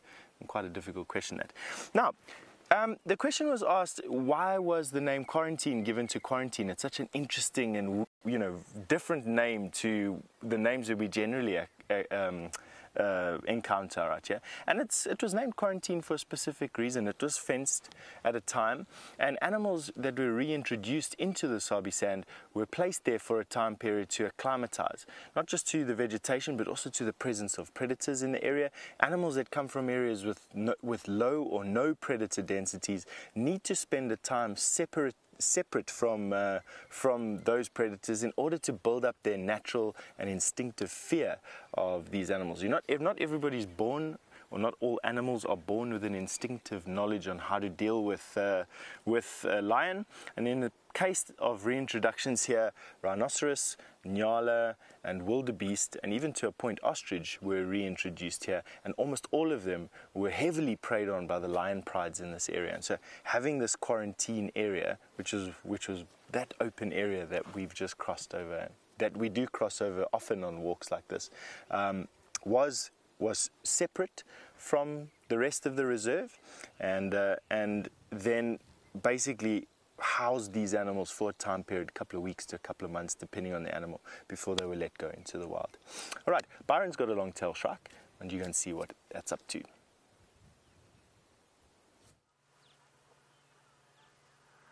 We do have two beautiful magpie shrikes sitting out in the open.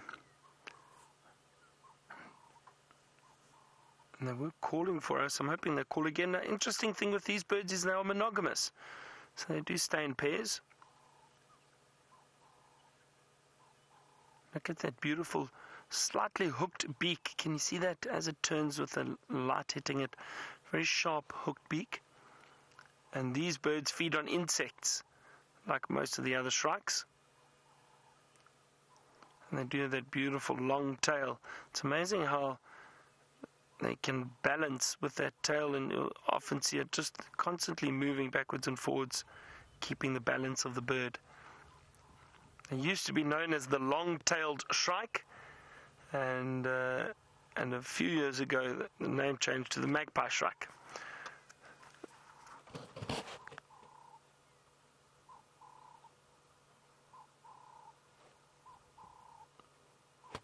Beautiful birds.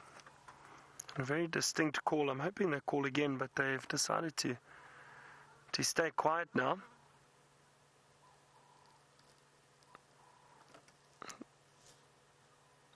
Some Cape turtle doves also calling.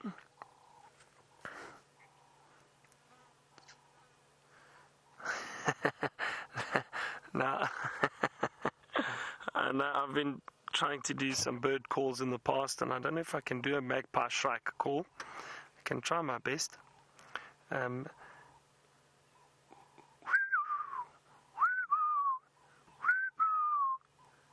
or more like a no.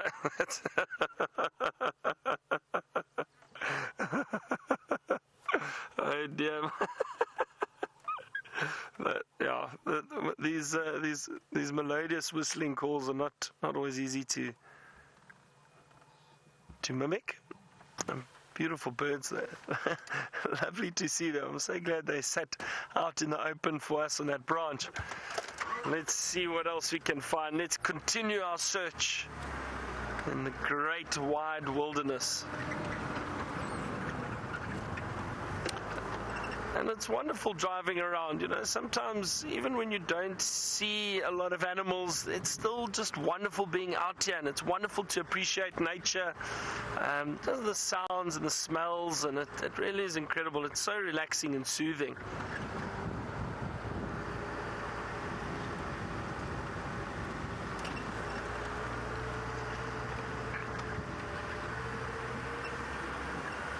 See if there are any other birds hiding around here anywhere.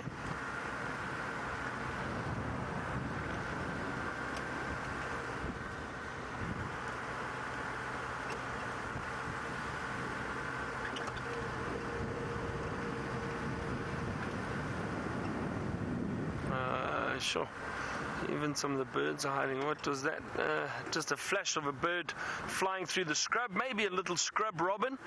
They do have beautiful little, um, beautiful little scrub robins here too.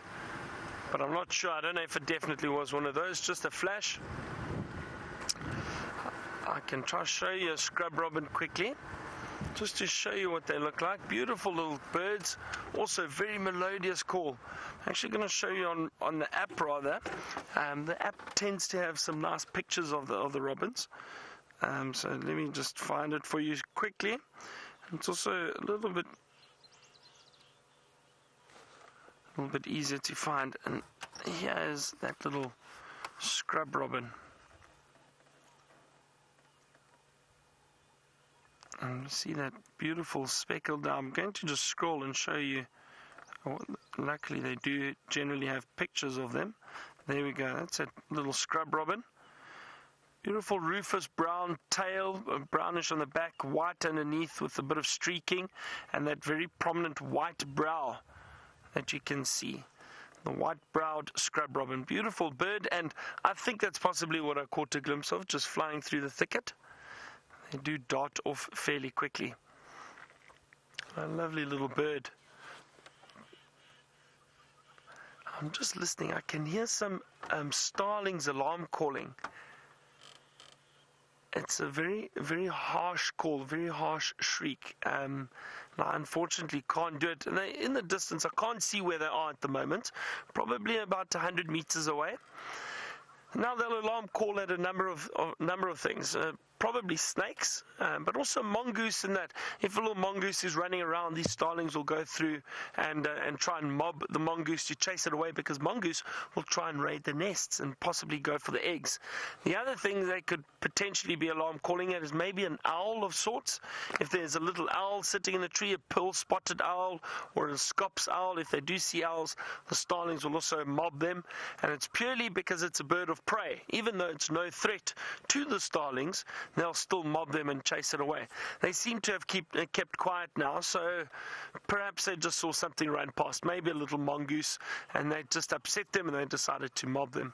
I know Brent yesterday morning, in fact, saw that black mamba with the um, with the with the uh, uh, starlings mobbing it, and uh, that's a good sign when you hear those bird calls that there could be something in that area.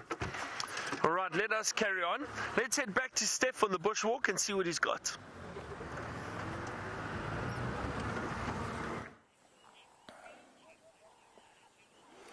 Talking about what happened yesterday and a few days ago, during the rain last week, I happened to find a beautiful jewel beetle that was on an acacia like this. And so what I did was I stopped at this acacia, not expecting much to be honest, but found it to be just absolutely covered in beetles. There are more jewel beetles here, that is a jewel beetle. Just a tiny one. And there must be a couple of hundred on this particular tree. And it's just a small little tree. You can see that beautiful iridescent green color on the side of the wings and on the head. Now we are coming to you live all the way from the African bush on foot. So you'd excuse please the odd shake as we come in close like that is an incredibly difficult skill uh, to learn is keeping this camera work steady. And we've got what I've been expecting for the last couple of weeks around this side. Come and have a look here. I, there's been an absolute explosion of flies. Now, one of the two protein sources that are in the bush over here that is of such high value to all the animals here are flies during the day and termites during the evenings. And animals from all over the world, as far away as Russia, come all the way down to South Africa to partake in this feast. Obviously, birds fly the furthest, um, but every number of insect here enjoys this feast. And I've been waiting to see these spiders come out. And here we go, there's an an orb spider. This is the first spider that builds an orb web that I've seen this season. So as excited as what we are to see the woodland kingfisher and the first impala lambs, that is how I'm getting for this particular spider. And I'm welcoming this spider. I cannot wait to see what has happened. This year has been a particularly good year for flies. The reason being is last year with the low rainfall, there was very low insect uh, numbers, and that meant that there were very low spider numbers. And so pretty much for an entire year, the flies here have been uneaten, and their volume at the moment is just intense. It's escalated, especially over the last couple of months, with the sheer number of carcasses that have been unfed uh, and basically just lying around the bush, basically just been leaving these flies to breed all over the place. And I'm waiting for the spider numbers to increase. And I'm expecting this year to have a very increased spider volume. So we'll see when we get to January and February and March, but I'm expecting the bush to be festooned with spider webs when we get to that time of the year. All right, we're going to send you over to Jamie, who's got something she'd like to show you. Oh, speaking of exciting arrivals, I have got such a beautiful bird to show to you. A pair of plum coloured or violet backed starlings. Now, the one that you're looking at is the female. She's particularly drab coloured, but the bird gets its name from the exquisite colours of the male. And he is here. He's going to pop out. That's the female. The male is just to the right of her. They're busy. Oh, no, no, no. Oh, starling. You chased them away. Why? Hold on. I can still see it. Hold on, hold on, hold on. We're to go back. Starling? That was rude. One starling species chasing another away. Can still see it. Oh, let's try and get it. No, don't do that. Come back here. You horrible bird. Not a horrible bird, it's a beautiful bird. And I really want you to see it. No!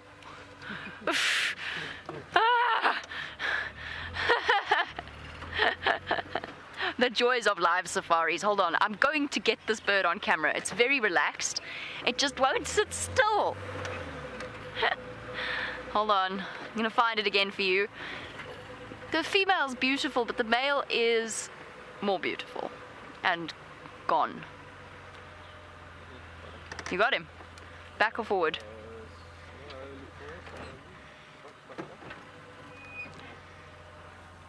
Well done, Jandre. Yes! there we go. the plum coloured or violet backed starling, and that's the male. Very, very different uh, to the female. And when you catch them in the right sort of light, which hopefully we shall do, you'll have a chance to see the exquisite colours of the bright purple. There we go. I was I was quite determined to get this particular bird on camera. They are so pretty.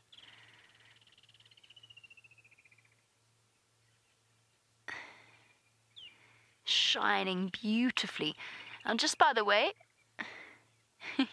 just by the way, we did get your updates, thank you, about the lion at Djuma Dam. I was on my way there before I got distracted by this particular bird. I'm trying to remember which way round. I always knew them as plum coloured, which must mean that the new name is a violet backed starling. And there's been a concerted effort between birding societies of various countries to basically make the names uniform. Because, of course, different countries call the same bird different names. So that's why the names recently of some of the birds have changed. And they've also changed in terms of getting a better idea, in the case, for example, of the grey go away bird, a better idea as to their family structure and their. Uh, their relatives and their connections in terms of their taxonomy. So that's why a lot of the names have changed, which is why you'll often hear all of us as guides, because we, of course, grew up with the old names. You'll always hear us refer to the first name and then correct ourselves and call it by its new and official name. I do the same thing with gymnogenes, the harrier hawks.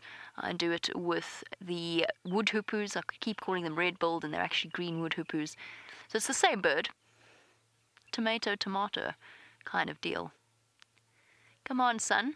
We need you to show off the beautiful plumage of this particular bird. Shine upon us.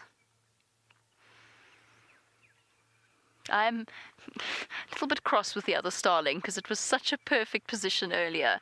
It was so close to the car. It was just glimmering. Oh, well, at least we managed to get it in the end. I'm just going to find a picture for you in my book to give you an idea of why exactly it is called a violet-backed starling. I haven't moved very far this morning. Hold on a second.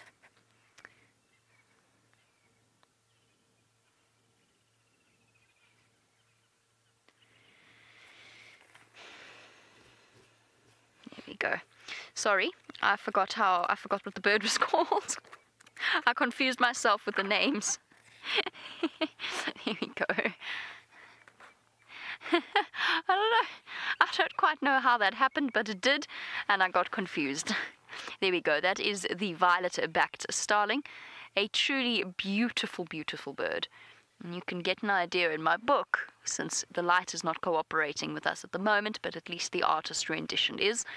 Uh, you can get an idea from my book that just how shiny its plumage is. There's the female, of course, the one that we saw, with her streaked chest, completely different to the male. Uh, we've just had them returned to us. They were they are inter-African migrants.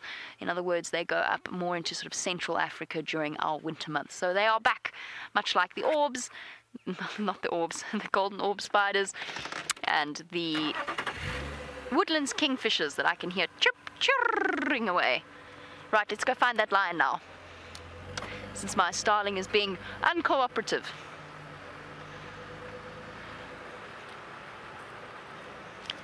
Oh, I want to take a shortcut. Forgive me, I'm sure I'll be forgiven. We're not really meant to use this road while we're, at least while we're live, but I'm just going to, just going to nip through. It's much quicker than going all the way around, especially since this is the direction he was heading in.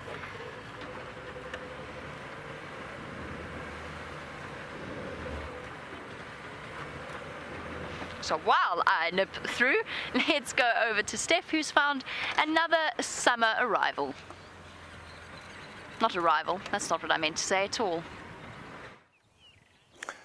You know, sometimes just like that uh, violet back starling that Jamie has, and I must be honest with you, it's one of my favorite birds out here is that violet back starling. Just that male with that absolutely startling white chest and that iridescence on him.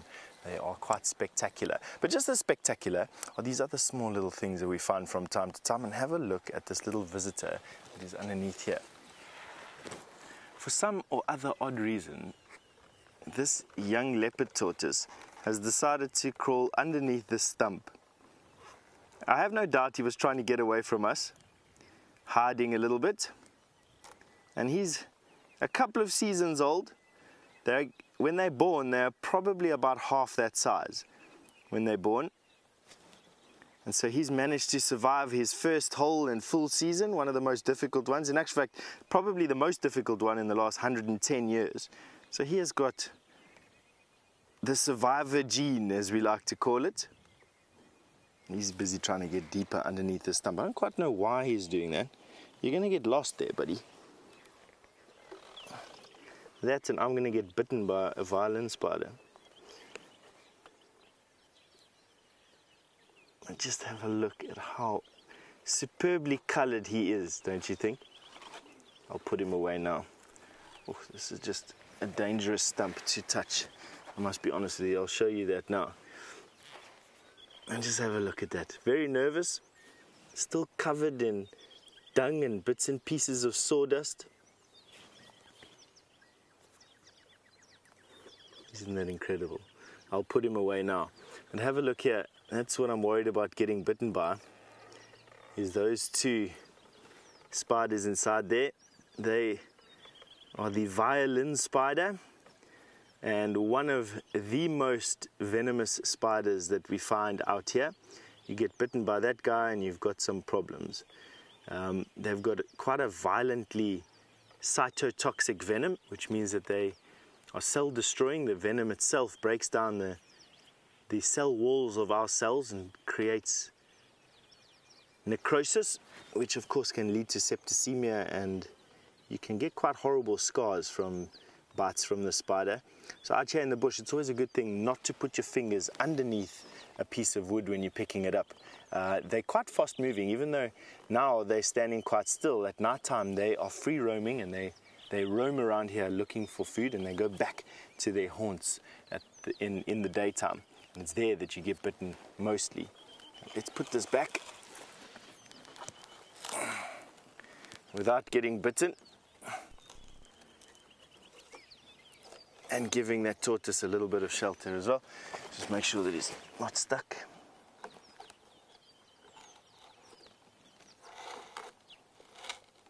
Here we go. Hidden, not stuck, all safe and sound, and we can carry on with our day. Why we're walking in this particular area is not only to try and follow up on what those impala have been giving alarm calls for, but also there's a series of quite nice pans here. And I just want to see how much water these pans are still busy holding, to be quite honest. Now, Coffee, you just asked me if the brown is if the uh, violin spider is like the brown recluse spider.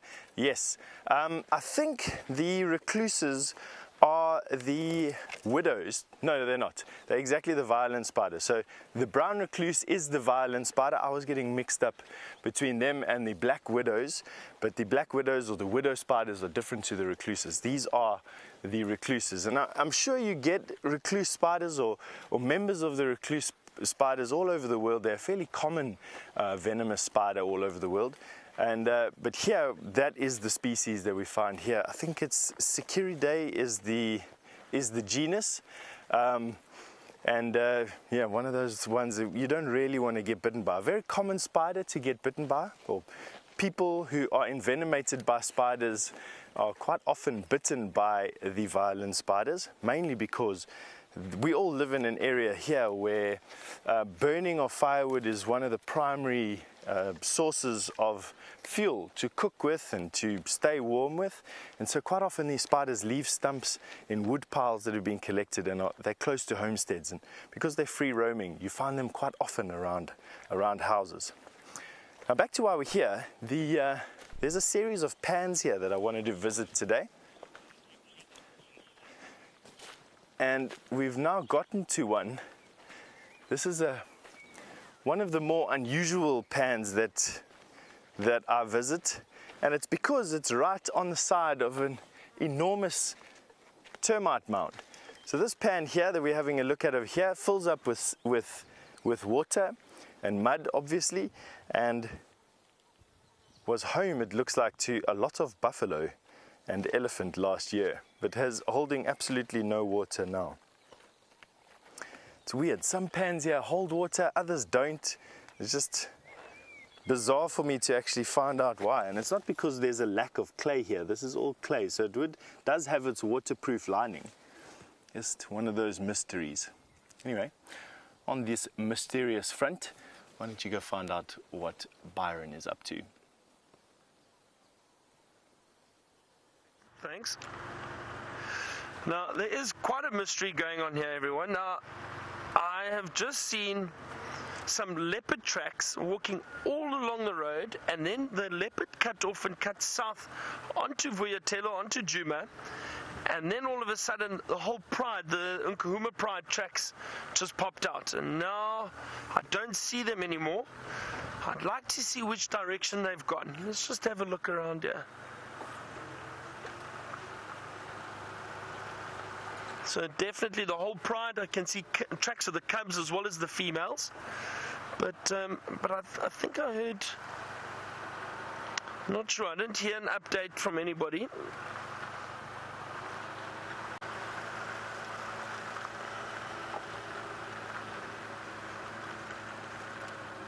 Uh, where have those tracks gone now? Should be here. There we go. Okay. Let's jump off here. Stick with us. Let's just see which direction these tracks have gone.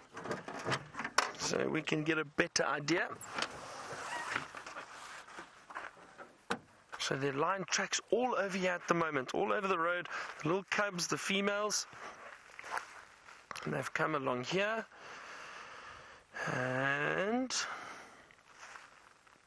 okay, I'll have to just have a careful look around here. I want to see which direction they've gone. There's nice soft sand on this side of the road.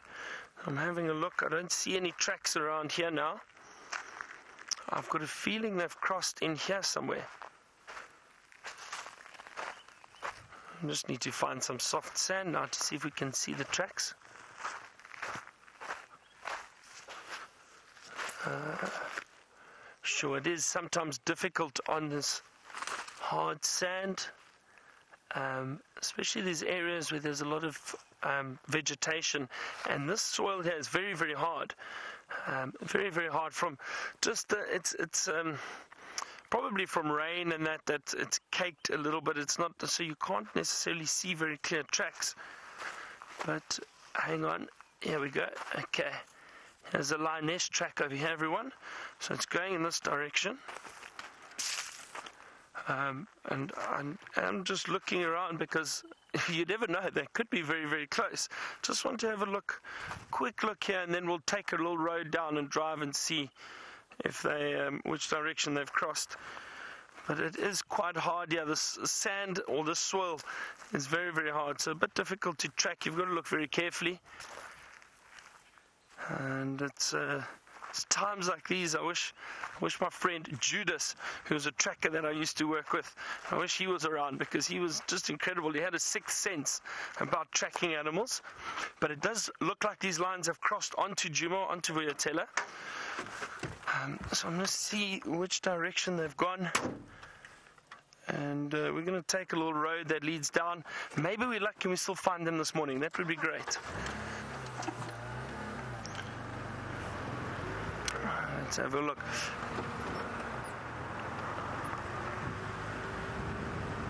Ah, so now we're trying to track the whole pride, but Jamie has found one of the males.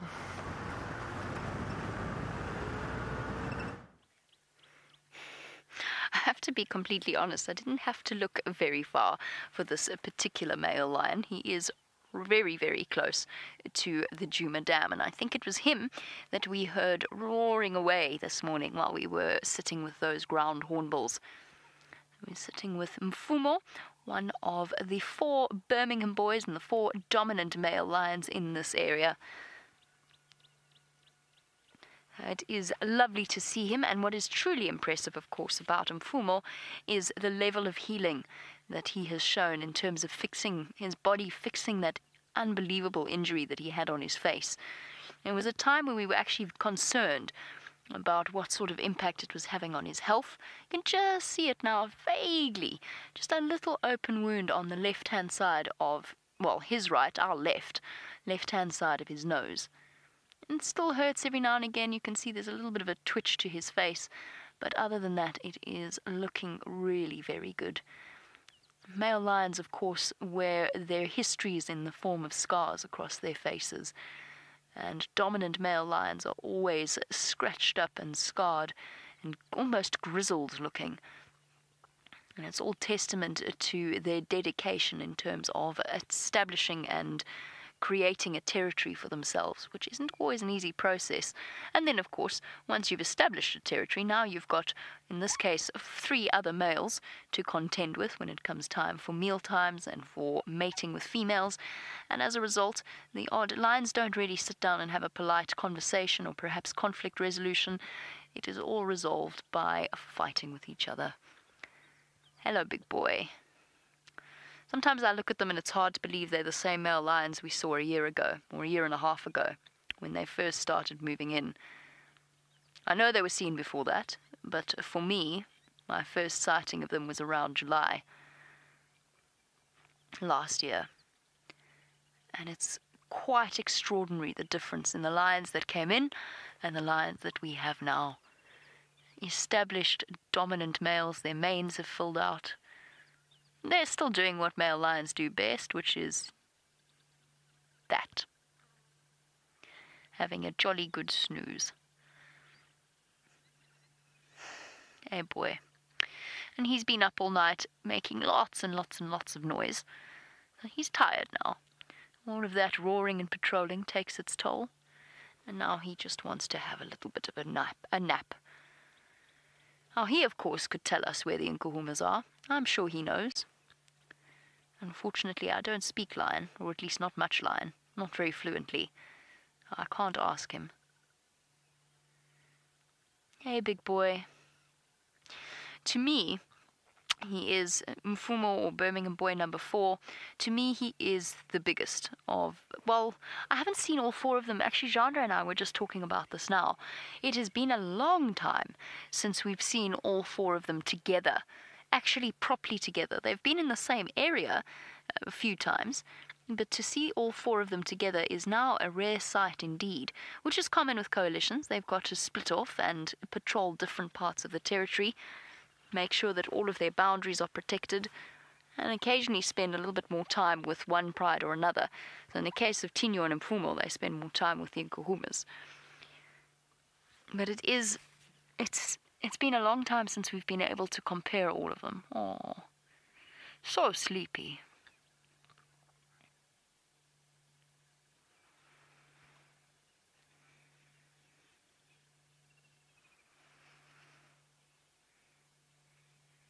A relatively short and very tough life that the male lions lead, but it looks as though, at least in the case of the Nkuhumas, and hopefully for the new generation of Styx cubs, it looks as though they will have a legacy to leave behind. And that, of course, is the aim of all male lions survival and propagating their own genetic line.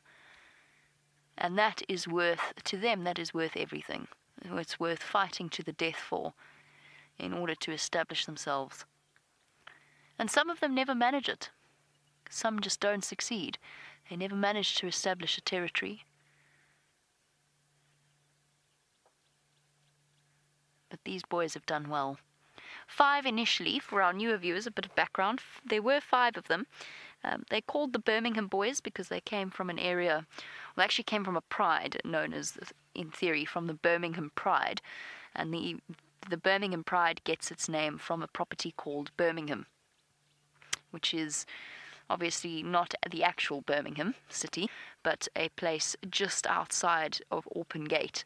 Of course, it's all open to the Kruger and to the Sabi Sand, and they came in five of them a year and a half ago, uh, pumped up full of testosterone, kicked out the dominant Matimba males, and have since established themselves as the dominant kings, at least of this area. And it was a it was a brutal takeover, not so much for the Matimbas, because the Matimbas legged it, um, and who can blame them? They were getting to the stage where they were older. It was time for them to move out of that area anyway whilst they ran the risk of mating with their own daughters. So it was a good thing that happened, but it was a little bit trauma. It was very traumatic uh, for many of us and many of you that have got to know the lions over the, the past few years. The deaths of several Nkuhumas, and of course the Styx cubs. All natural part of the takeover process. Is that a scratch on his leg? Yeah deep scars that they bear. It's healed up perfectly, I don't remember seeing that, but deep scratches, probably from fighting with other with one of the other males. Could even have been that those could even have happened when he was fighting with Tinyo, with Brent.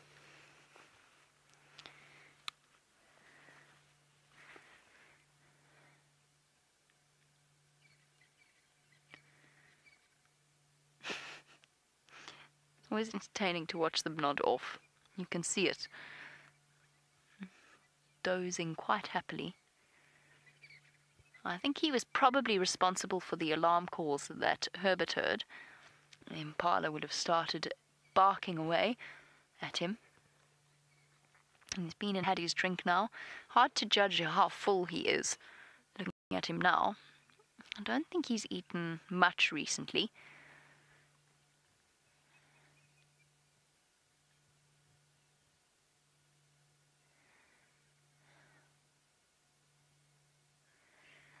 My suspicion as well, because yesterday, of course, with Byron, he was with Tinyo, and the two of them were treating us to an incredible display of their audit auditory, that's not what I meant, of their roaring prowess. Incredible sounds that come through. Were you going to roar for us? No, just sniffing the air. I suspect that Tinyo is not far away. They generally stick together, these two.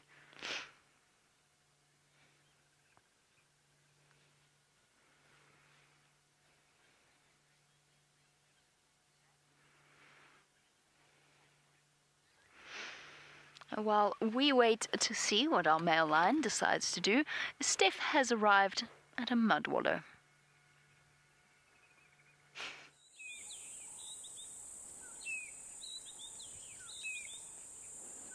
Isn't that male lion absolutely magnificent? I must say I'm quite envious of you. We don't get to see male lions on foot from that distance as uh, as easily as what you've just seen it. But what we do get to see is a bunch of little things that are, for me at least, just as interesting. What you were just having a look at over there was a clover field. Now, we've said that we're going to come and look at a bunch of these basically pans that have been filled up with water a couple of weeks ago with the rain that we had in the area and are now slowly sinking and slowly starting to stagnate. And they go through a life cycle much like anything else with little plant and animal communities popping into being. This one is particularly old, I think, and it's starting to dry out quite quickly and I'm seeing just looking at it, it's starting to bubble and it's starting to stagnate quite badly. Now, nothing much can get into it because this elephant has managed to push this tree down over the pan. And uh, what is quite weird is that it doesn't even have, this is almost the perfect habitat for a foam nest frog and it doesn't even have a single foam nest frog nest in it. It's worrying, you know. I wonder exactly what type of effect this drought has had on the frog populations around here. You know, a lot of frogs live longer than one year, and they are they have porous skin and they can dehydrate through their skin. And I'm I'm wondering, you know, looking at this, which is I would expect there to be a number of foam nest frog nests on this particular tree. There isn't even one, not even an old one. That's not because this pond has sprung into being over the last 24 hours.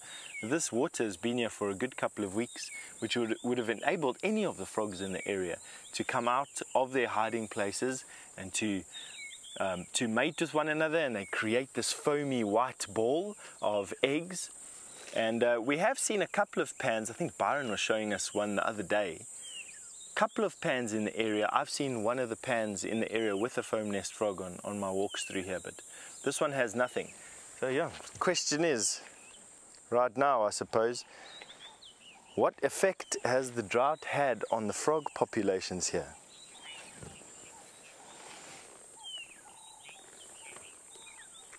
Now, Melissa, you've um, wanted to know did we get any of the rain that was expected yesterday? No, Melissa, we didn't. It, it clouded up quite nicely last night. We could hear thunder in the distance, but no rain came, which is sort of the hallmark of this particular place. But we are expecting rain over the weekend, substantial rain in actual fact, um, coming in from the tropics. Quite often, the big rain that we get here in South Africa is from tropical cyclones in January, February, March that come in over the Indian Ocean and over Mozambique. And then in the earlier parts of the year, so November, December areas, we get moist air that comes from the inside of, the, of, of Africa, coming all the way down from the tropics, from the equator, coming down in these fingers and tongues into South Africa and can sit sedentary over a place for a number of days, giving us a lot of rain. Um, and that is what we're seeing developing at the moment, coming in from equatorial Africa all the way down across Zimbabwe or Botswana, one of the two, and then dipping into South Africa, giving us some rain. And that's, that's the rain that they are predicting uh, comes over this weekend. That's what we're hoping for, at least anyway. If we can get a large amount of rain. What we don't want here is massive amounts of rain in a very, very short space of time because it all just runs away and takes with all the precious soil as well. What we want is a steady sort of rain. Um, which will play havoc with our show, to be quite honest with you, but I think we'll all understand. Rain is such a special thing. All right, so why don't we go through to Byron, who is wanting to give you an update, and I suppose at some point you're going to go and see that lion again. so we're still in search of these lions. I haven't had any further luck with the tracks. They did head off the road and into quite a thick block. So I'm just trying to see and scan very carefully around this area. Maybe we get lucky, who knows? Um, and it's always exciting when you are tracking like this, looking for animals. Um, but it is difficult for us because you do miss tracks when you are just driving the vehicle. It helps if you've got someone sitting on the front, perhaps looking for tracks while you're driving. And as I said, that substrate or that soil that we were on earlier was very, very hard and couldn't see any tracks.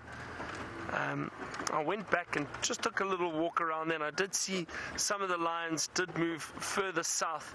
So into this area off to my right. And I think they're possibly in, in this area somewhere.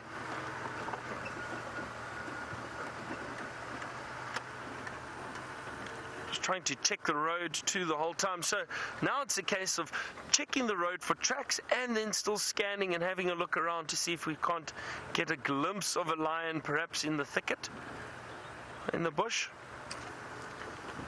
And they're starting to warm up, so chances are that possibly they have gone to lie down already. Uh, and every time I look down, I look down in hope, hoping to see a track, just to put us on the right track again. Give us a, a direction at least, anything.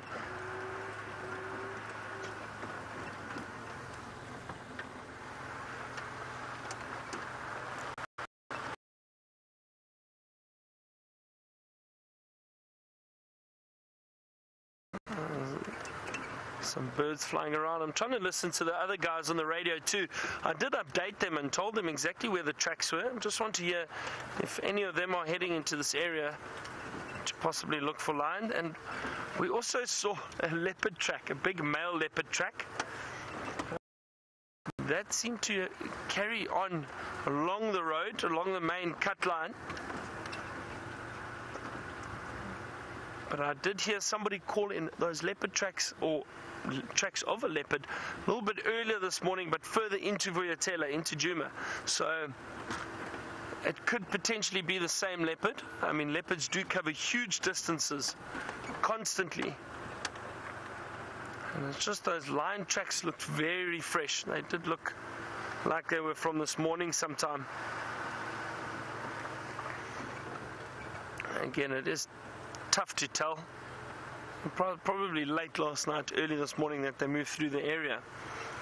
But it is exciting, and you never know. We could come around the corner and possibly bump into them somewhere. And just keep scanning, keep scanning, keep having a look. And this is part of a safari. That's the thing. While you're out here, you've got to track, you've got to take time, and it doesn't just happen immediately. Sometimes we get lucky and we bump into the animals, but you've got to spend time tracking, listening, and working out where these animals have moved to find them. And because they're wild animals, they'll move wherever they want. And that's why I love it so much, is because you never know. There's no guarantee. There's never a guarantee in the bush.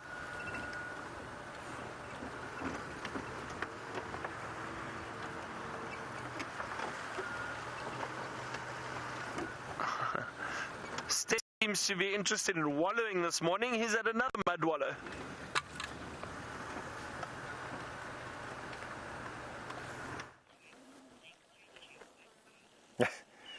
I'm interested in wallowing. Doesn't that mud look delicious to you? Looks like something on a hot day that you just want to climb into and let the wind cool off. I mean, not the fact that you'll be end up brown here, but I found something that has made me feel a little bit better about the frogs that we were talking about. Here is the frog nest. Now, Liz, uh, this is geared, I suppose, a question that is, is aimed directly at what your comment has just been.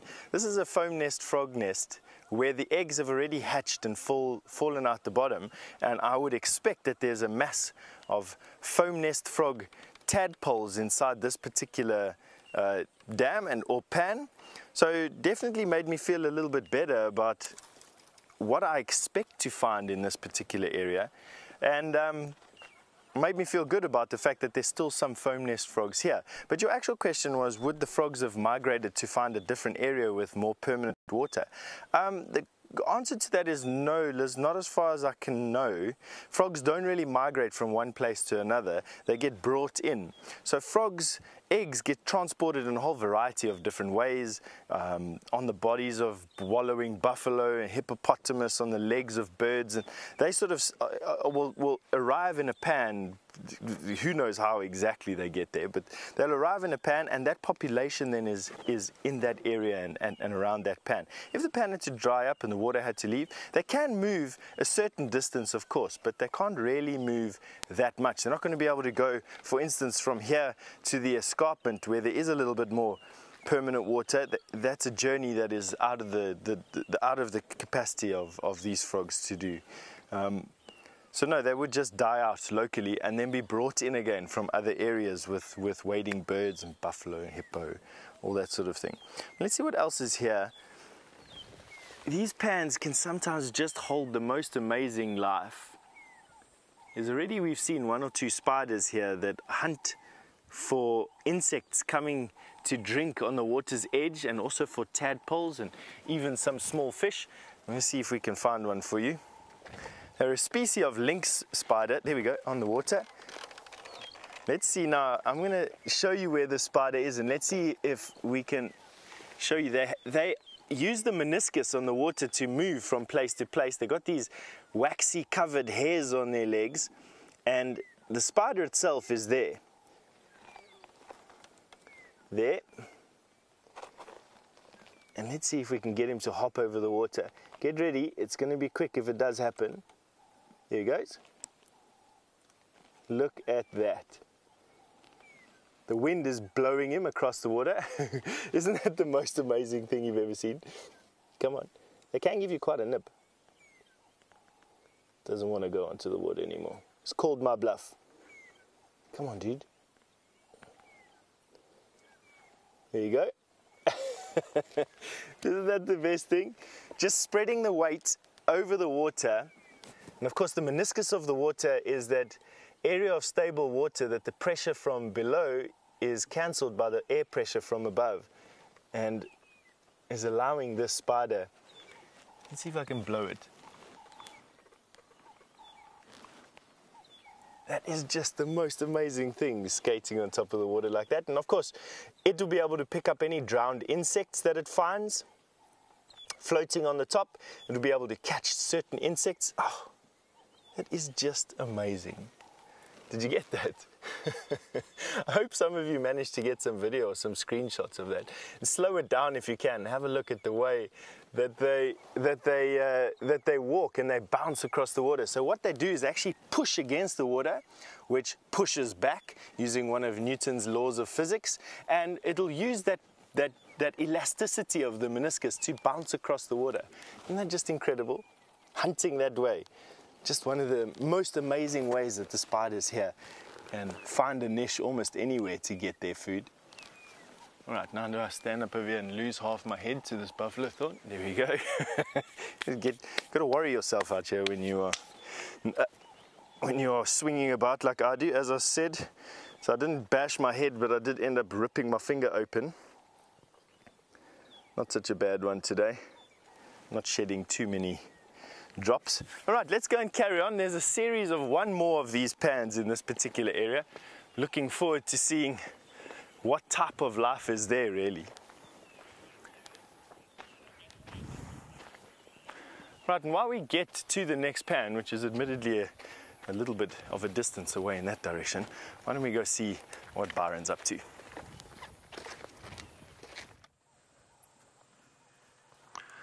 Right, I've just spotted a little antelope off to the right, everyone. Let's see if we can see it. Hopefully, it stands there. Look at that beautiful little duiker. Now, it's trying to hide away from us, and usually they run away very quickly. So, it is great that we managed to spot him. And I've switched off. I'm sitting quietly. Hopefully, it doesn't run away, but it definitely can see us. It's just trying to hide behind the trees there. Mm, see how those legs are shaking? Probably just trying to get rid of some flies that are sitting on it. Now, these duiker are elusive and they do tend to run away very quickly. So it's great to see this little one, even though its face is hiding. And I wonder if I don't try roll forward a little bit. Uh, I'm, I'm not on a big enough slope to roll.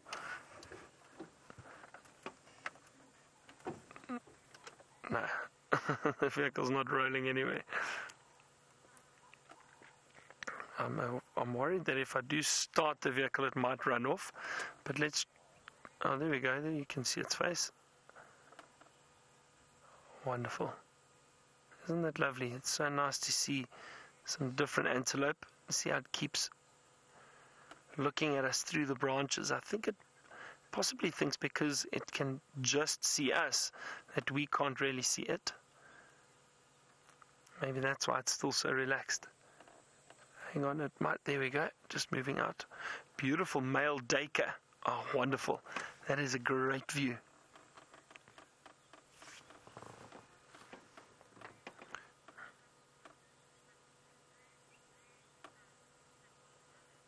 Oh, that's wonderful. Oh, very nice. A nice little surprise. A little duiker.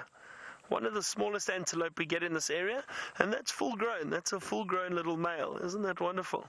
Nice to see. Still no luck with the lions, everybody. Um, oh, but hang on. See, when you stop and you look at antelope and other little creatures, you start seeing interesting little things. And look at this. Hang on.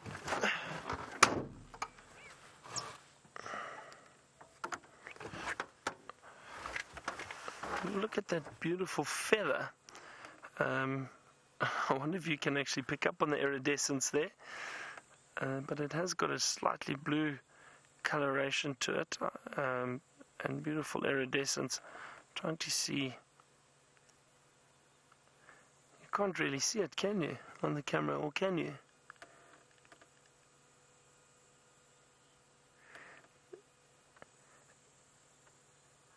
That's very, very beautiful. Just that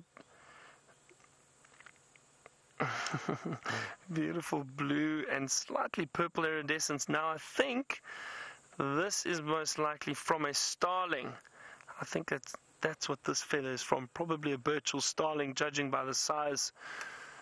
Um, and it's funny, depending on the angle I hold it at, um, the colors there it's completely brown if I hold it at this angle, and there as the light hits it, I get that beautiful purple and and bluish coloration to it. So there, sorry, there seems to there seems to be a little bit of confusion this morning with the, with the lions, and one guy says that he thinks they found the lions, and then nobody else knows who found the lions, and I don't think they really know what's going on. It's quite entertaining. Um, we had the lion tracks. That's what we had, and we still think, and I still think they're in this block somewhere, possibly, because don't see any tracks coming out. Again, it's very difficult to drive and track at the same times. Uh, so, yeah, and uh, even though we might be a little bit confused about where these lions are, but Jamie isn't. She has got one. Let's head back to her and see what it's up to.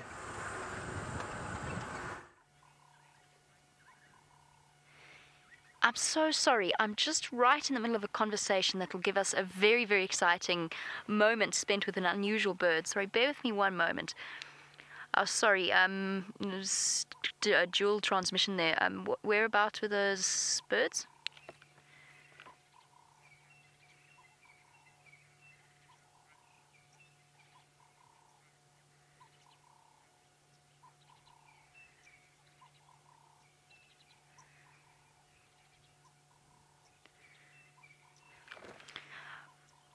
Oh, awesome. Thank you. I know that pair. I'm pretty sure I know which tree that is. Thanks so much. I'm going to be making my way there shortly. it's open lock. Sorry, everybody. Um, it, whenever we do call in birds, it's usually for quite an exciting reason. Um, so that's why I'm just trying. I know you're looking at a lion and I'm busy talking about a bird. Uh, but for our newer viewers, I'm using a radio that allows us to connect with all of the guides in the area so that we can share information, so that we can plan out our searches and our mornings and our afternoons, where we're going to go, how we're going to do things. And of course, also to make sure that these animals don't get mobbed by vehicles. So, of course, in certain areas where that isn't the case, um, you get lots and lots of vehicles moving around. Um, whereas in this particular area, it is restricted to three at a time, as sometimes less. But sometimes we do use the Game Drive channel to share exciting and unusual sightings, and I'm going to be going to this particular bird in the not too distant future. It's not a new one for some of you, some of you will have seen them before, but I do really, really enjoy them. So I don't think Mfumo is going to be up to too much. I think we will we'll leave him after this. We'll leave him in the next few minutes and we'll go off in search of that bird before the end of the sunset safari. But for now, Mfumo is snoozing away quite happily. He was restless for a little while. He was sort of flopping, rolling over, flicking his tail. Uh, no yawns, but he did look as though he wasn't quite fully relaxed. But I have to tell you now, that's a very relaxed looking lion. That that is a lion that doesn't have uh, too much on his mind and isn't really planning on going terribly far. So we'll probably him shortly.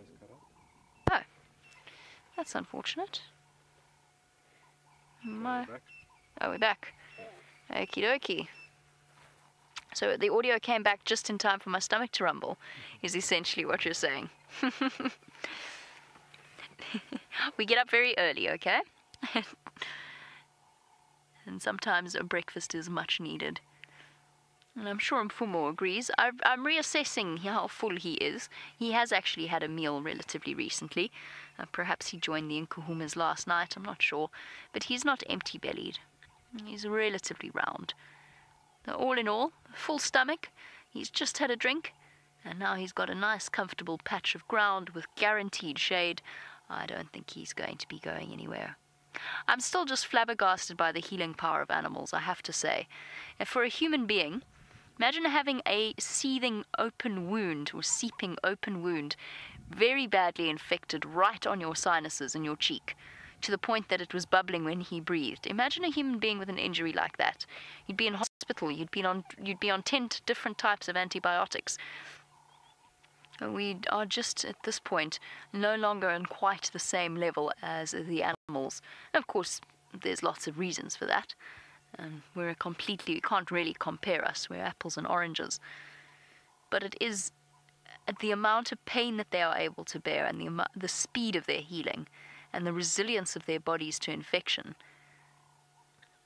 is humbling, I think is perhaps the good word.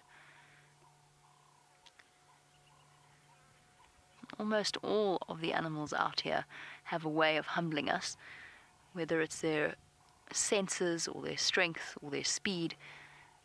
We're relatively biolo- obviously intellectually we're a different kettle of fish, but biologically we're relatively a feeble species. Now, I'm going to go and find you the exciting bird, hopefully. While I do that, Steph has arrived at his final mud wallow.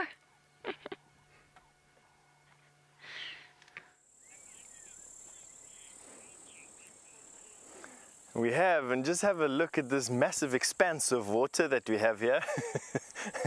this is about a si- this is about the size that a natural pan gets to out here. And uh, this one is full. Other than the first one that we went to in the series, which had no water in, this one is is holding quite a lot of water. And there where you are on that side of the pan, it's probably about knee deep. So it's a relatively deep water water pond and is holding water much better than any of the others. Not quite as much going on here though as uh, there was at the previous pan, but I would suspect that if we did a quick inspection around here and saw what tracks there were, that it could quite easily be a better pan for large mammal tracks. And it's because they've got these beach areas where I'm standing right now, there's another one across over there and another one over there roundabouts and I think let's VM walk you across from that side of the pan and come and join me on this side of the pan and let's see what tracks we can find here together.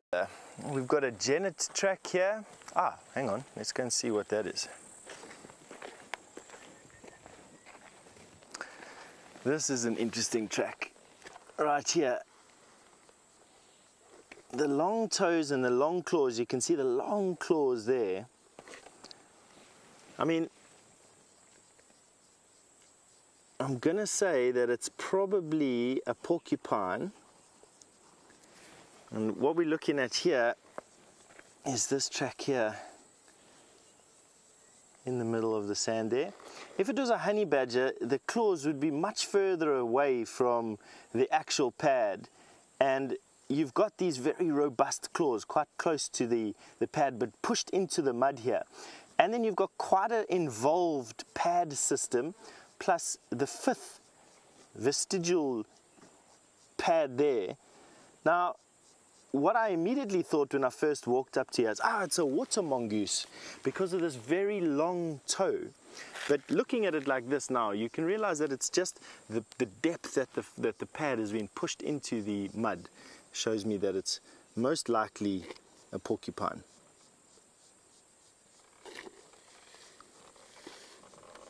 Let us come to have a drink over there. Let's carry on around this side a little bit and let's see what other tracks we can find. Here we have some duiker tracks from a common duiker. Here we have the track of a genet.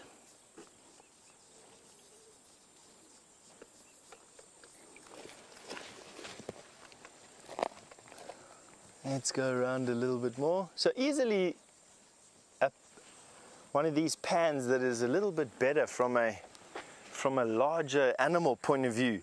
Not so much from frogs and spiders, and I think it's because it's so exposed. There's very little area here for for, uh, for the smaller animals to hide. And here we've got some rhinoceros. Here's the very large foot of a white rhinoceros. One toe there, one toe there, and another toe here. It's another much older track here. So some rhinoceros. What else have we got here? Some nyala.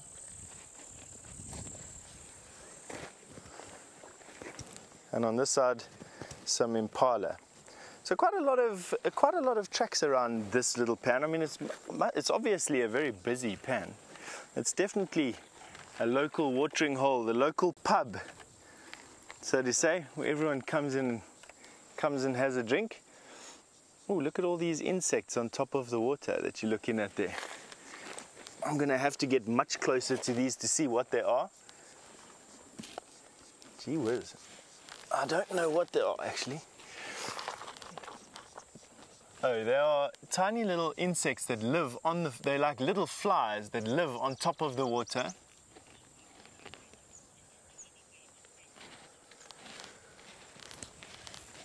Now, Dark Tranquility, you've asked me um, if we were stuck out here in the bush and you needed to drink water from this pan, um, is there any way to create a filter? There absolutely is. There's a whole bunch of ways you could create a filter, uh, Dark Tranquility. The very best one to use is the material that we have on our bodies, um, with, in my opinion, the best one being a sock. So what you do is you take your sock off and uh, you could fill it with a variety of different things to filter out most of the debris um, from it's coarse sand, which you can find in riverbeds close by, right at the bottom of the sock, and then layered with um, grass that you can find. And you just pour the water in the top, or you scoop it up at the top with a snail shell or with a piece of bark or something, pouring it down into your sock, and the water that drips out the end will be fairly clear of debris. Uh, but in my opinion, you still need to boil that water. If you were desperate and you'd had no means of making a fire, you could of course chance it and, uh, and drink it just like that. But with the relatively high phosphate um, content of the water that you find here, and also the fact that animals come in, defecate and urinate, um, animals die in the water, especially insects. You don't really know what type of bacteria is inside these water, inside water like this. And so it's always best as a rule of thumb to heat up the water that you drink uh, from pans like this. Um, you need to heat it to above 60 degrees for uh, longer than 10 minutes or so. So you've got to boil it quite vigorously and, uh, and then you've got to drink it um, if you need to. Needing about two liters of water a day here um, to maintain a healthy metabolism. That's how much you'll sweat out here just in the heat. So water is very, very important.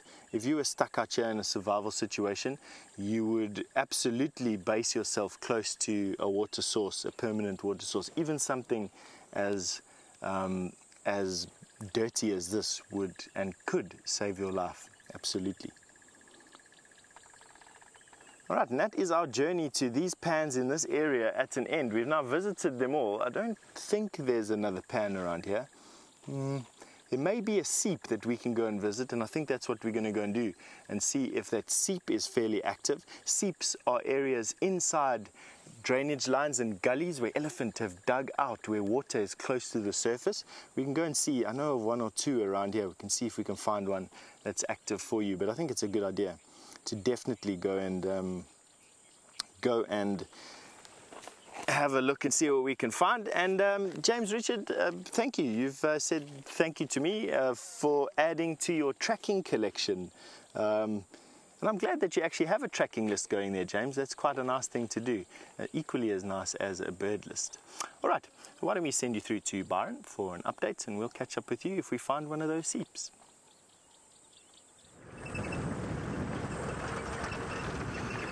Okay, so I'm having a good look in this area for these owls. I know Jamie wanted to come and have a look, but we've been tracking these lions around here. No luck yet on the lions.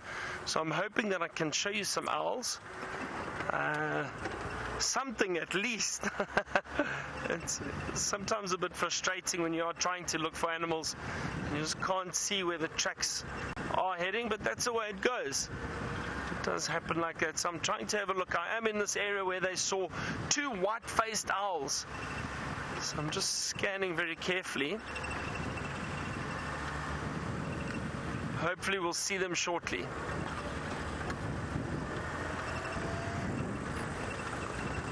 Not too far from that area, I think, but it is a little confusion which road they were on actually. Um, but I think I know where they are.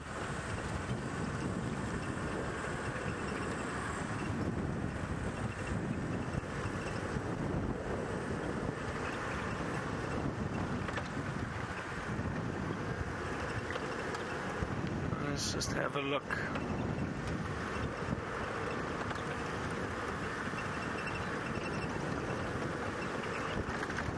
Okay, I'm going to look around here. I think this is the area that they were in. Let's look very, very carefully.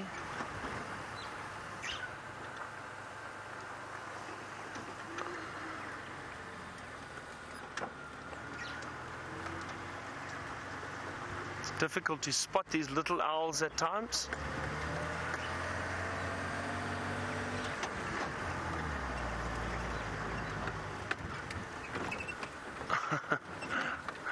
oh dear, oh dear.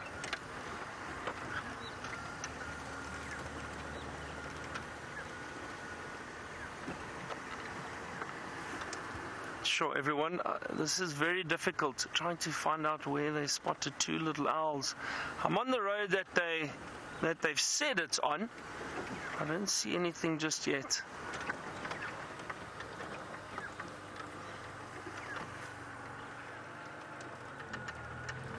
Oh, I have no idea where to look now. Hang on a second, maybe uh, it was definitely off the fire break apparently. Let's see, let's see.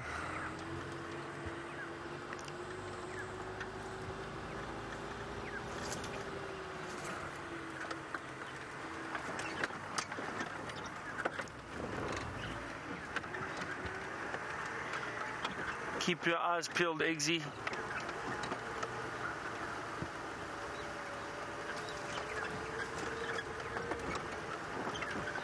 A lot of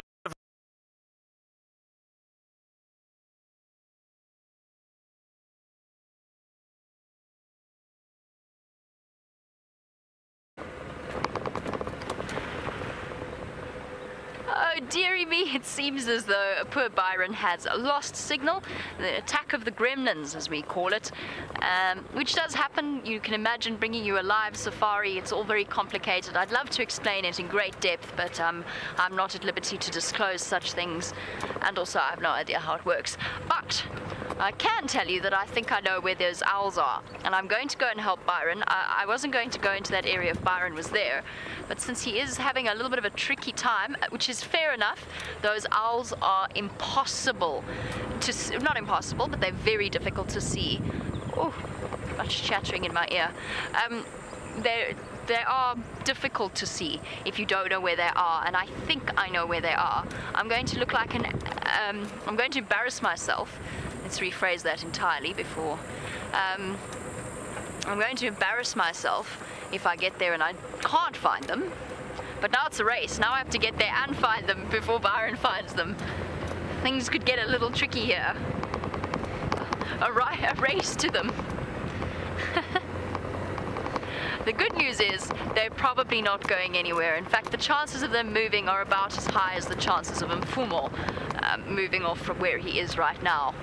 Now, ideally, I'd like to slip up Nyala Road North right now. That could, however, mean that I go into Gremlin Hollow as well, just, just to warn you all. But it would be much quicker for me to take that particular route, and we are running out of time. I can't believe I'm racing towards the sighting. I did, I did something silly. I went off in the opposite direction. Um, when Byron said he was closer, uh, I just turned off and went the opposite way.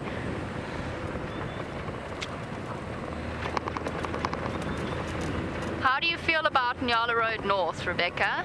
Do we feel brave today? Or not so much? Yes, we do. We do feel brave. We do feel brave. Let's do it. Hmm? An elephant. Where was the elephant? Was it? Oh, okay, so it was a faraway elephant. Not that I usually drive past elephants, but today. Okay, well, we haven't got to Nyala Road North just yet, but we're about to. It's one of my favorite roads, and unfortunately, it's one of the worst signal patches, just in terms of our broadcast stuff. Something interferes with the thingamajig and it makes it all go black. I don't know. My summary. Just checking sort of as quickly and as thoroughly as possible to make sure that Tingana isn't somewhere here. There were male leopard tracks crossing onto Djuma. Um, and moving in this direction, I know that I think that that's where Steph and Herbert have been around the area, around the vicinity of those tracks. I don't think I don't think they've seen anything though, but there's always a chance that we might just bump into Tingana somewhere along here.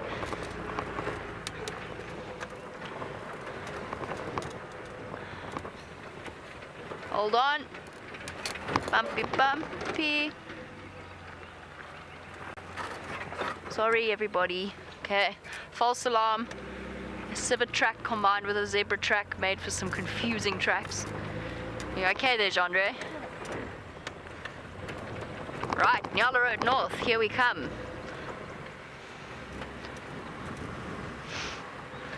Not to be melodramatic, but I might disappear off your screens any second now.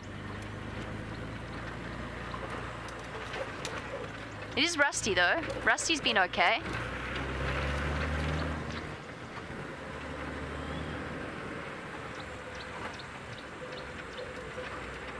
So far so good. Whee! Little slide down the rocky bit.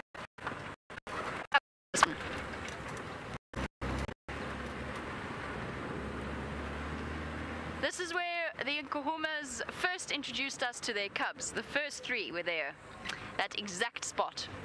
When the three of them lined up and posed as if I'd put them there. It was beautiful. All symmetrical, adorable little faces lying on mom's leg.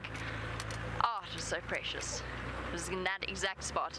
And that's what's fun about working in an area for a relatively long period of time. Because every corner you go around, you've got a memory associated with. Usually a good memory, hopefully a good memory. The next bend is where the Nkuhumas killed the buffalo.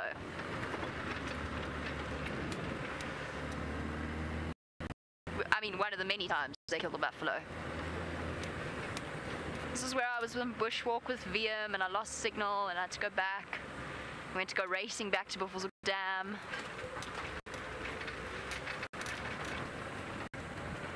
Where Taylor and I tried to follow the lions off road at night, relatively unsuccessfully, and they led us on a mad adventure through the bush in the dark. See what I mean? Lots of memories attached to different places. Ooh. No. Focus. Focus. Hey, we made it through the entire road. Seem to be fine. How much time we got left? Are we gonna find these owls? You know what's gonna happen, don't you? We're gonna get there, and Byron's gonna find them as we get there. Not that I begrudge you that, it's just just gonna be one of those things. It'll be Murphy's law.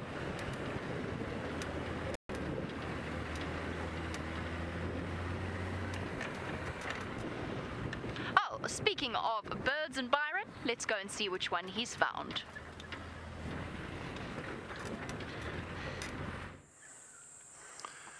So we unfortunately have not found those owls at all.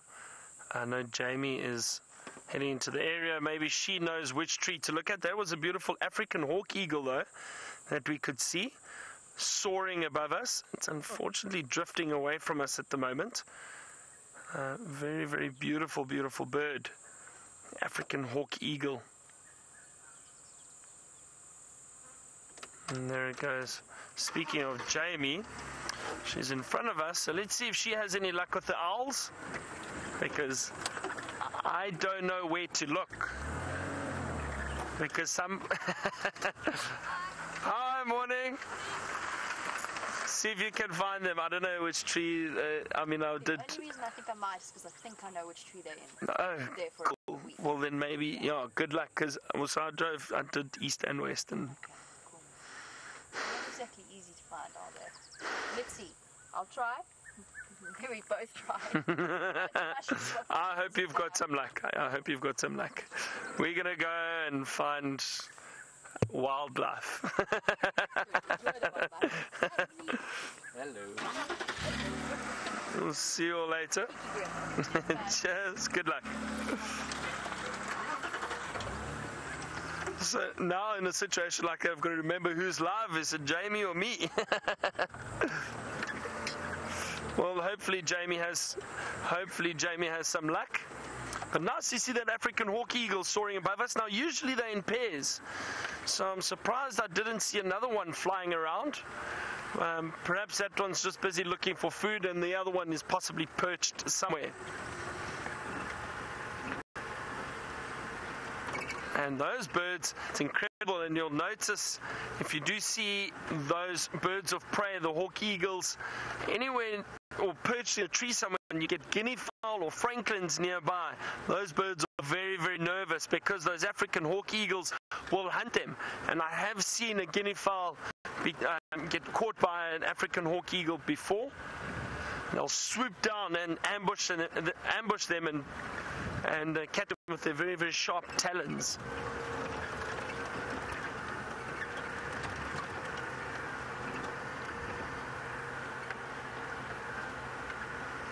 Really starting to warm up now. It's a beautiful, beautiful morning. Doesn't look like any cloud cover. Remember I said we should wait till about 8 o'clock to decide what the weather's going to do. So it appears as if it's going to be clear skies for most of the day, maybe later, but of cloud cover. That it's been happening a lot lately because of the building of rain. We can feel it in the air. There's this, you know, there's a lot of humidity. It's, the air is very, very thick at the moment. So hopefully we'll get some rain fairly soon. It is needed. And it'll also help cool down a little bit here. Big elephant roadblock there. We'll have to try and get somebody to come and move that tree. Um, but that I think will need a chainsaw or a tractor.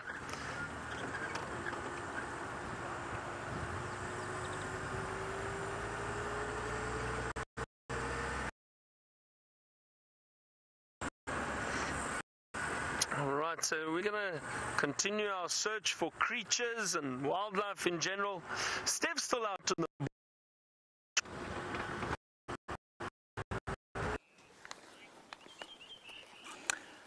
Now, this piece of dung had uh, us perplexed here for a bit. I'll show you why. I'm gonna have a look here. Look at the size of the boluses here. They're just enormous. Here's my fist. You can see that they are just incredibly large. And uh, we were, uh, my initial thoughts was because of the black color and the fibrousiness of it that it was a, it was hippo dung. But on close inspection, and by using my nose, I could tell that it absolutely isn't. It's rhinoceros dung, um, which looks almost the same with the exception that rhinoceros this time of the year can have quite a lot of sticks. And that's one of the things that gave it away for me is the presence of these sticks. They're not they're just very fibrous grass. Hippo don't eat that grass. Um, and the lack of smell. The hippo dung has got quite a pungent smell to it. Now, Heather, you've asked me what is the, where did we get the name dung scat? And, um, oh, I've forgotten the last one now. Dung scat, and um, it'll come to me in a second. And you wanted to know and poop, I suppose, is, is the, the, one that's just come through. So dung, scat, and poop, what, what, are the three differences? I call this dung, Heather, and dung for me is anything that comes from a herbivore. So anything that's fibrous,y that comes from an animal that eats uh, plant material, I call dung. Poop for me is something that primates do, um, and I will refer to poop when it comes to, or feces when it comes down to primates or humans. And then scat is what I like to use for cats or for animals that eat meat or carnivores, um, I use the word scat. I suppose there's a definition in there somewhere along the line, but that is how I define what I use those particular words for.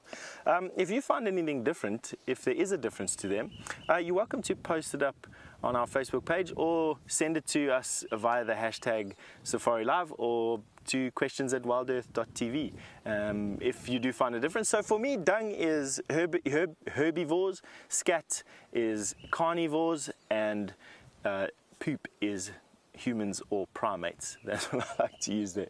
And onward we go. I actually wanted to show you this. I thought it was hippo initially because we, right earlier on in the walk we saw that uh, tiny little pile of hippo dung uh, that looked very similar to a lion or to a baboon uh, or to a hyena in actual fact, but in, it, it, really was just a tiny hyena dung. Quite often you find hippo droppings this size. You know, the bolus that a, that a hippo can, can form can quite easily be as big as this, if not bigger. And this is unfortunately not a hippo, but a rhinoceros. And a monstrous one. I saw that. VM says there's a millipede in here, and that actually tickled my fancy. I learned something new this week that I'm going to share with you. And I always thought that um, millipedes like this are detritivores. In other words, they eat dead and decaying um, matter. I never knew that they were scavengers, and I especially didn't know that they can even be predaceous. And this week I learned both. I learned that a, a millipede like this can be seen eating other insects that have died, but will wrap themselves around an insect similar to how a python or an anaconda does and will actually feed on an insect. I saw a picture that a friend of mine took this week of a millipede subduing a cricket and eating it. Isn't that incredible? I never knew that. That's a first for me. These millipedes are the most amazing things. Let's see if this one wants to play with us a little bit. You can see generally these youngsters can get quite feisty when you start to pick them up. Here's the ventral view of a millipede, not something that we see often. Now, at the base of the legs, there are two legs per segment. At the base of the legs is tiny holes, and from those holes comes a hydrocyanide, which then coats the body of the millipede with this very distasteful compound and makes them almost indigestible for most animals out here, except the civet, some scorpions, and a bird or two. And funny enough, I also learned another thing this week from a friend of mine who has a bunch of rock monitors. He says they will also eat um, millipedes, and I never knew that. I never knew rock monitors ate millipedes. But he says his definitely do. The ones that they find in his garden, they eat. Isn't that just amazing? All these creatures that we find in this planet are just fascinating. Look at those antennae. That's how this millipede sees the environment around it. Much like we use our eyes and our senses, this millipede uses those two appendages on the front of its head.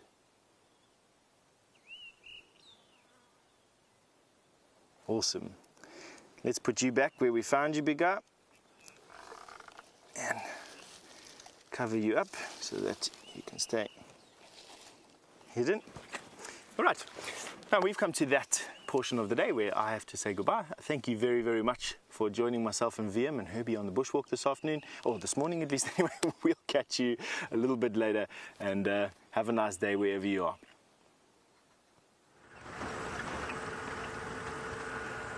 It's always wonderful to be on the walk with Steph and see all those beautiful little creatures that he manages to find. What is running through there? A small antelope, possibly a little steenbok, everybody, just off to the left. Oh, two of them, there they go. Ah, don't know if you'll get a view very quickly. There it goes.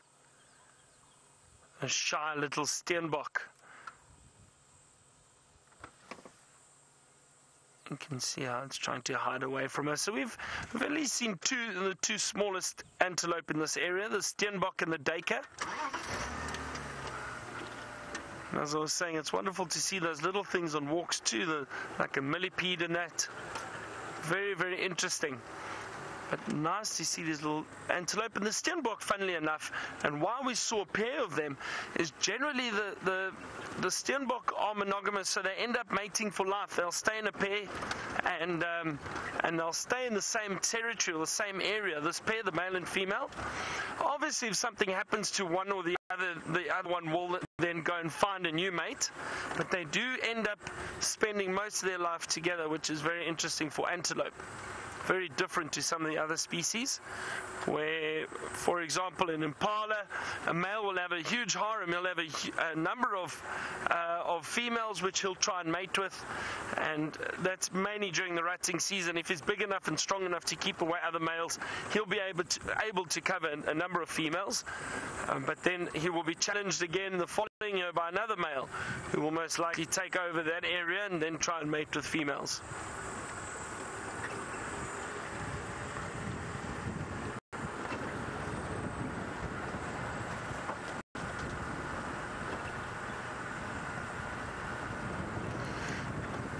Michael, you want to know if all the ewes in Impala in an impala herd are all related. No, Michael, they won't be.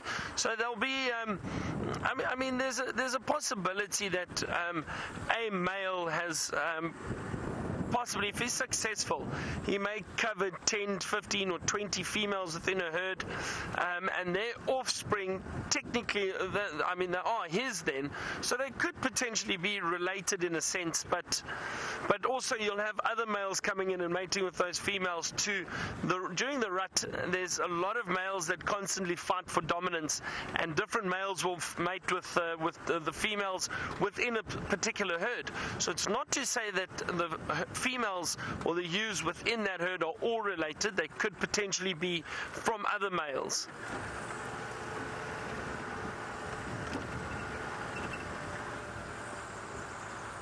But if one male is very successful, he could cover quite a number of females.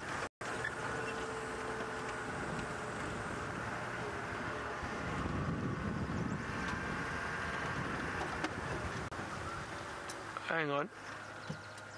I hear something, but I can't see it. Little bird. And it sounded like an owl. I could be mistaken. It sounded like the beginning calls of a little owl. I just want to have a look quickly and scan. This would be great. A little highlight for the end of the drive. Uh, sounded like a little pearl spotted owl. Am, I mistaken?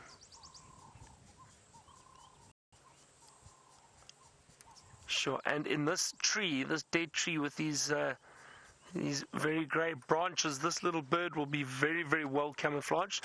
Just going to reverse a little bit more. Just change our angle a little bit.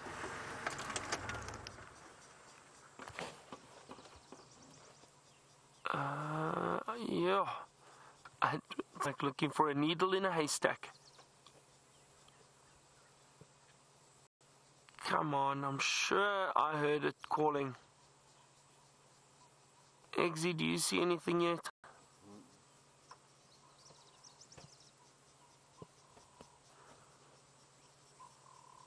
Uh,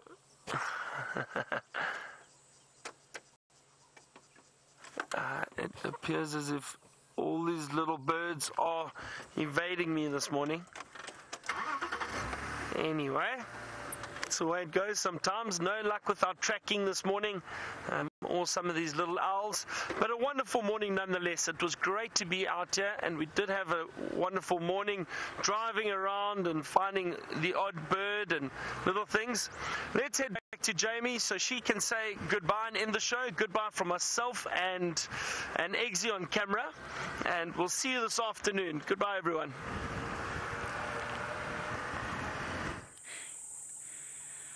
Well, no luck on my side, I'm afraid. The really bad news is they're not where I was sort of hoping they were going to be, which is in the tree that they know and love, and that we've seen them in on a relatively regular basis in the past. And they just aren't here.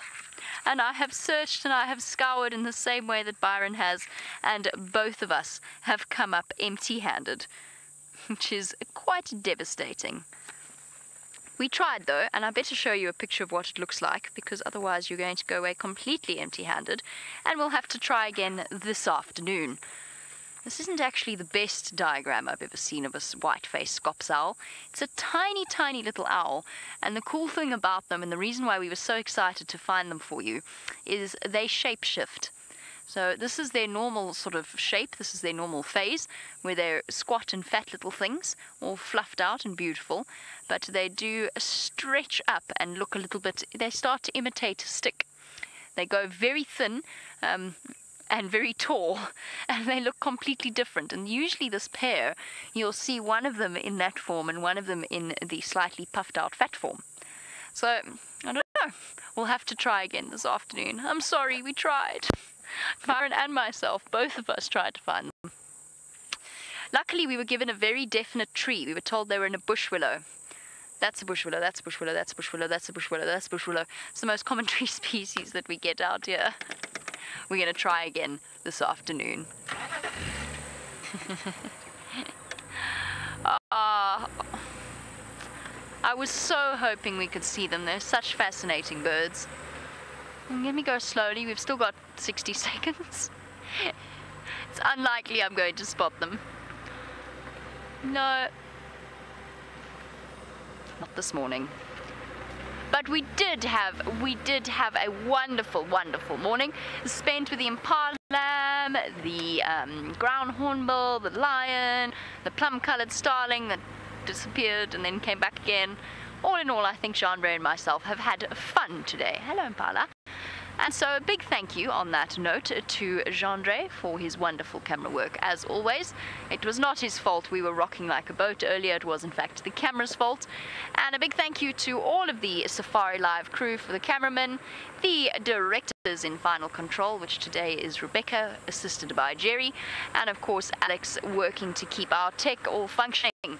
And a big thank you to all of you, most importantly, for joining us on our Sunrise Safari. I hope you had a joyful time. And for those of you celebrating Thanksgiving, happy Thanksgiving. Uh, to the rest of you, I hope you have a wonderful time, regardless. See you in the Sunset Safari. Bye bye, everybody.